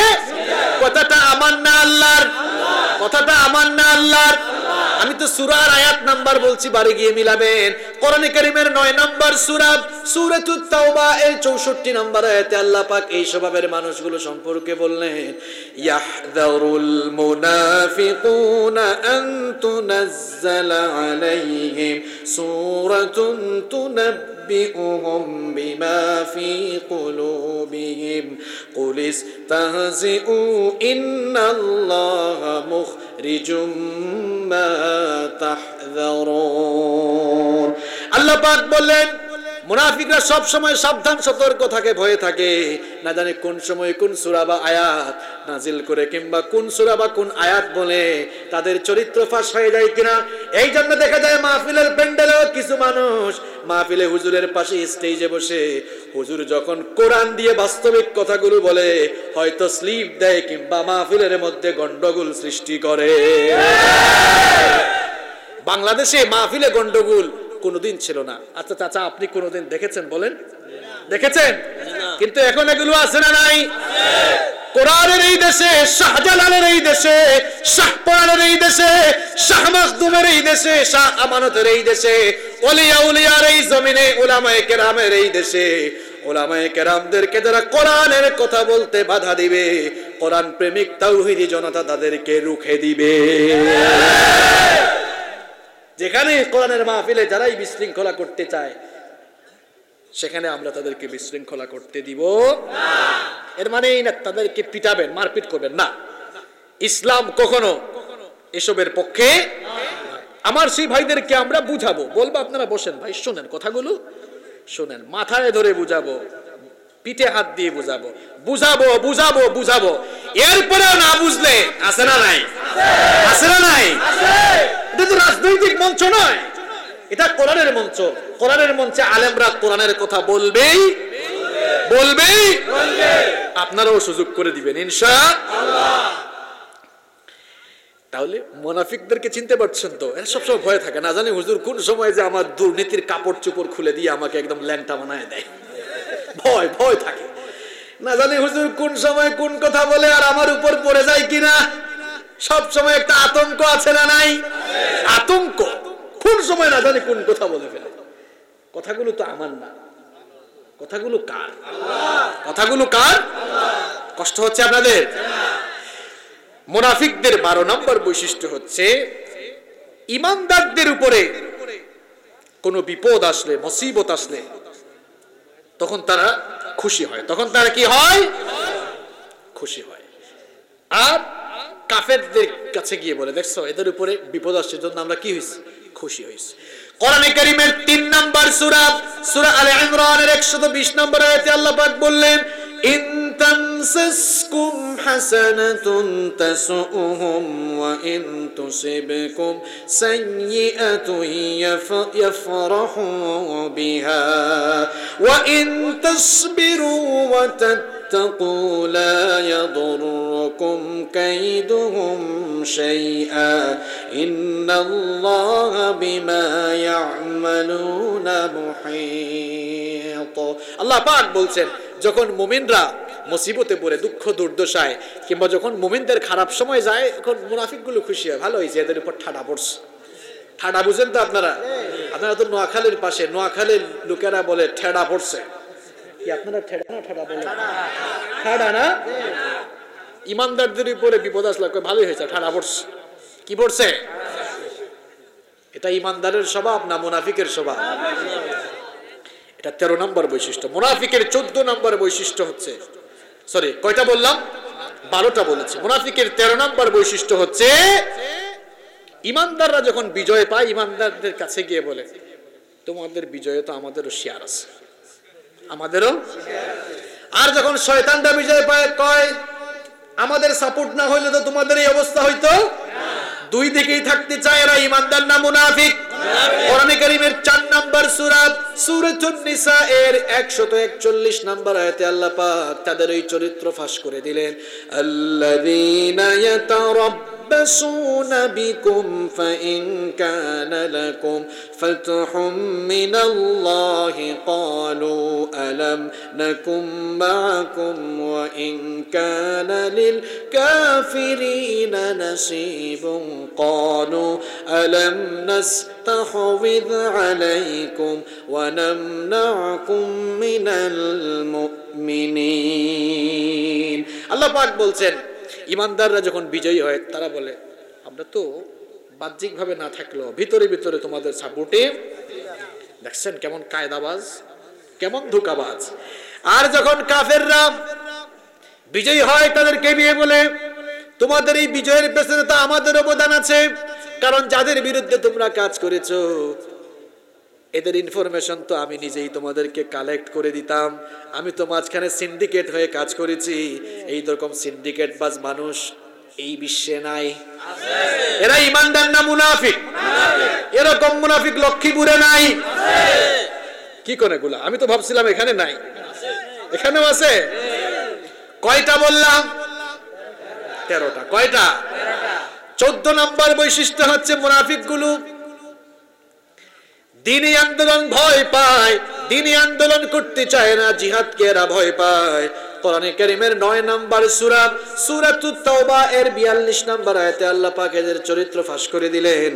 লাউ কানা আরাদান করিবান ওয়া সাফারান কাসিদান লাআত لاتبعوك ولكن بعدت عليهم الشقة وسيحلفون بالله لو استطعنا لخرجنا معكم يهلكون أنفسهم والله يعلم إنهم لكاذبون কথাটা কার আল্লাহ তাআলা বলছেন এটা তাবুকের যুদ্ধের নাম শুনেছেন তো আপনারা? তাবুকের যুদ্ধে যেই মোনাফিকগুলো যায় নাই, এদের ব্যাপারে আল্লাহ এই আয়াত নাজিল করেছেন। আল্লাহ বলছেন যে এরা বলে যে সফরটা যদি নিরাপদ হতো আর বেশি দূরে না হতো, আবহাওয়া যদি অনুকূলে থাকতো, তাহলে আমরা যেতাম। এই মোনাফিকগুলোর প্রেতাত্মা এখনও আছে। যারা এখনও বলে, অবস্থা সুবিধার না তো এই জন্য আসলে আমরা তোমাদের সাথে বেশি সায় দেই না। স্বাভাবিক খুব তারপরে। এরকম আছে না নাই? নবীর অবমাননা হয়, একটু বের হয় না। কয়, বের হলেই বিপদ আসতে পারে। একটু সব কিছু স্বাভাবিক খুব তারপরে আসব। আমার ভাইয়েরা ভালো করে শোনেন, ইমানের পথ কোনোদিন ফুল বিছানো ছিল না, ইমানের পথ কোনোদিনও কুসুমাস্তীর্ণ ছিল না।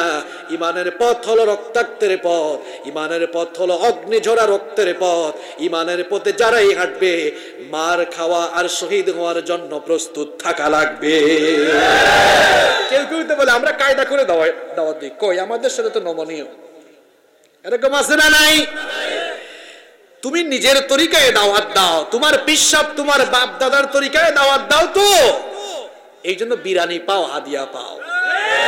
এসব বাপ দাদার তরিকার নিজের বানানো তরিকা বাদ দিয়ে একটু নবীদের তরিকায় দাওয়াত দিয়ে দেখো, ইসলাম বিরোধীরা পিঠের চামড়া তুলে নিবে। কোন তরিকার দাওয়াত দাও? আমি হেকমত দিয়ে দাওয়াত দিই। গাধা কোনা না। নবী তোমার চেয়ে হেকমত কম, বুঝতেন? সাহাবিরা কম, বুঝতেন? সাহাবিরা এত হিকমত বুঝে মায়ের খাইলেন। আর তুমি এমন হেকমত, খালি ফুলের মালা, খালি হাদিয়া। এসব তরিকা বাদ দিয়ে নবীদের অরিজিনাল তরিকায় দাওয়াত দাও, দেখবা পিঠেগুলো চামড়া থাকবে না। আমরা নিজের তরিকায় চলবো না, নবীর তরিকায় চলবো। আল্লাহ কবুল করে না চোদ্দটা বলে ফেলেছে। অনেক কষ্ট হয়েছে আপনাদের, তাই না? ফাইনালি শেষ, আলোচনা শেষ হয়ে যাবে। মুনাফিকের পনেরো নম্বর বৈশিষ্ট্য হচ্ছে, মুনাফিকরা নিজেদেরকে খুব চালাক ভাবে। কীভাবে? মনে করে আমরাই তো সবচেয়ে বড় চালাক। আমাদের কাছে কেউ আসতে পারবে নাকি হ্যাঁ? যা মন চায় তাই করবে। আমরাই সবচেয়ে বেশি শক্তিশালী। আমরা সবচেয়ে বুদ্ধিমান, সবচেয়ে চালাক।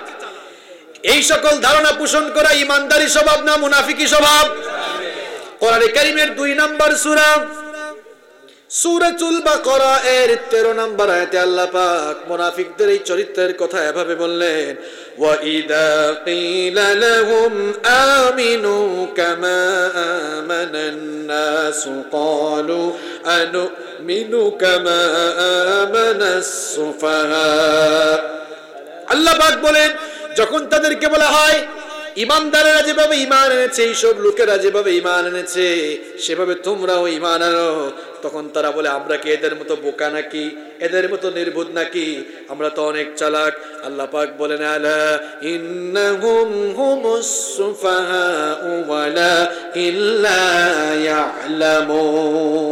আল্লাহ পাক বলেন, এরা নিজেরাও জানে না। আসলে এরা নিজেরাই হচ্ছে বোকা, নিজেরাই নির্বোধ। প্রিয় ভাইয়েরা, মুনাফিকদের কয়টা বৈশিষ্ট্য বললাম? হ্যাঁ কেউ উঠবেন না, উঠ- উঠলেই কিন্তু এখন বিপদ আছে। এমন কথা বলব এখন। উঠলেই বুঝব, মনে হয় কোনটা মিলে গেছে। মুনাজাতের আগে উঠলে কিন্তু বিপদ আছে আজকে। মিডিয়ার ভাইরা যারা আসছেন উল্টা পাল্টা থামলেন, দিয়েন না। আমরা বলি এক কথা, আর এক কথা দেওয়া যাবে না। আপনারা তো দায়ী আল্লাহ আপনারা যে আমি আসার পরে দেখলাম, এই বসো, এটা করো, ওইটা করো, এদের সাথে আপনারা অনেক সময় চিল্লাচিল্লি, লাফালাফি করেন। আপনার বাড়িতে আপনার বউ, আপনার মা বোন ওয়াজ শুনে কিন্তু ওনাদের কারণে। আমরা দিনের কথা মাঠে ময়দানে বলে বেড়াই, আর আমাদের দিনের কথাগুলো এরা ইন্টারনেটে বিশ্বময় ছড়িয়ে দিয়ে তারাও দায়ী আল্লাহর কাজ করতেছে। এরা প্রত্যেকেই দিন প্রচারে কন্ট্রিবিউশন তাদের কন্ট্রিবিউশন রয়েছে। তো প্রিয় ভাইয়েরা আমরা আপনাদেরকে বলব, আপনারা শুধু দুনিয়ার, দুনিয়াকে উদ্দেশ্য না রেখে একটু আখেরাত মুখে কাজ করবেন। আমি ওই দিন দেখলাম এক ইউটিউবালা আওয়ামী লীগের একজন কেন্দ্রীয় নেতার ছবি এনেছে, আমার হাত উনার ঘাড়ে নিয়েছে। অথচ ওই আলোচনায় আচ্ছা বলেন তো, আজকে যে আলোচনা করলাম, রাজনৈতিক একটা কথা বলেছি? ওই দিন আলোচনার বিষয় ছিল একেবারে নর্মাল সম্ভবত আমলি কোনো বিষয় নিয়ে আমি নামাজ নিয়ে আলোচনা করেছি। দেখেন নামাজ নিয়ে এতে হাত নিয়ে লাগাইছে একদম ওনার ঘাড়ের উপরে। এখন উনি যদি এটা দেখে, ভাববে এই হুজুর তো খুব সাংঘাতিক। আসলে ওই বিষয়ে কোনো কথাও আবার দেখলাম আরেক ইউটিউবওয়ালা আমার ছবি দিয়ে পাশে একটা ইয়াং মেয়ের ছবি দিয়েছে। কেন দিয়েছে এটা সে জানে। হ্যাঁ আমরা প্রকাশ করব। আমরা প্রকাশ করব। আমাদের এক ভাইকে তো আপনারা এইসব উল্টাপাল্টা থামলেন দিয়ে দেশ থেকে বিদায় করে দিয়েছেন। প্রিয় ভাইয়েরা এগুলো করবেন না। আমরা আপনাদেরকে অন্তর থেকে ভালোবাসি। ওহেব্বুকুম ফিল্লাহ। আমরা আপনাদেরকে আল্লাহর জন্য ভালোবাসি। তবে আপনাদের লক্ষ্মীপুর এইসব অঞ্চলের ভাইরা যারা কাজ করেন যতটুকু জানে তারা অনেক ভালো। আমার ভাইদেরকে যেন আল্লাহ ভালো রাখেন। তাদেরকে যেন আল্লাহ তালা ইসলামের সিপাহী হিসাবে কবুল করে আপনারা এই যুগের সিপাহী এই যুগের সেনানি আপনারা এই যুগের দিনকে ছড়িয়ে দিয়েই কিন্তু ইসলাম বিরোধীদের মাথায় আগুন ধরিয়ে দিয়েছে। আমার ভাইদেরকে বলব, উল্টাপাল্টা থামলেন আপনারা দিবেন না। আপনারা আলোচনার ভেতরে আমরা যা বলি, সেই কথা থেকে যেই কথা আপনার ভালো লাগে, এটা টাইটেলে ইউজ করেন কোনো অসুবিধা নাই। প্রিয় ভাইয়েরা, বসেন, কেউ উঠবেন না। একটা লোক উঠবেন না, উঠলেই কিন্তু আমরা ভাববো, মনে হয় কোনোটা? মনে হয় কোনোটা? তবে পেশাব পায়খানা আসলে কিন্তু উঠতে পারবে কোনো অসুবিধা? জায়গায় কাম করিয়েন না আবার। প্রিয় ভাইয়েরা, কেউ উঠবেন না। মুনাফিকের এই পনেরোটি বৈশিষ্ট্য বললাম, আল্লাহ তালা যেন আমাকে আপনাদের সকলকে, নিফাকের এই সকল ভাইরাস থেকে মুক্ত হয়ে ইমানের আলোয় আলোকিত জীবন গঠন করবার তৌফিক দান করেন, আমরা বলি আমিন।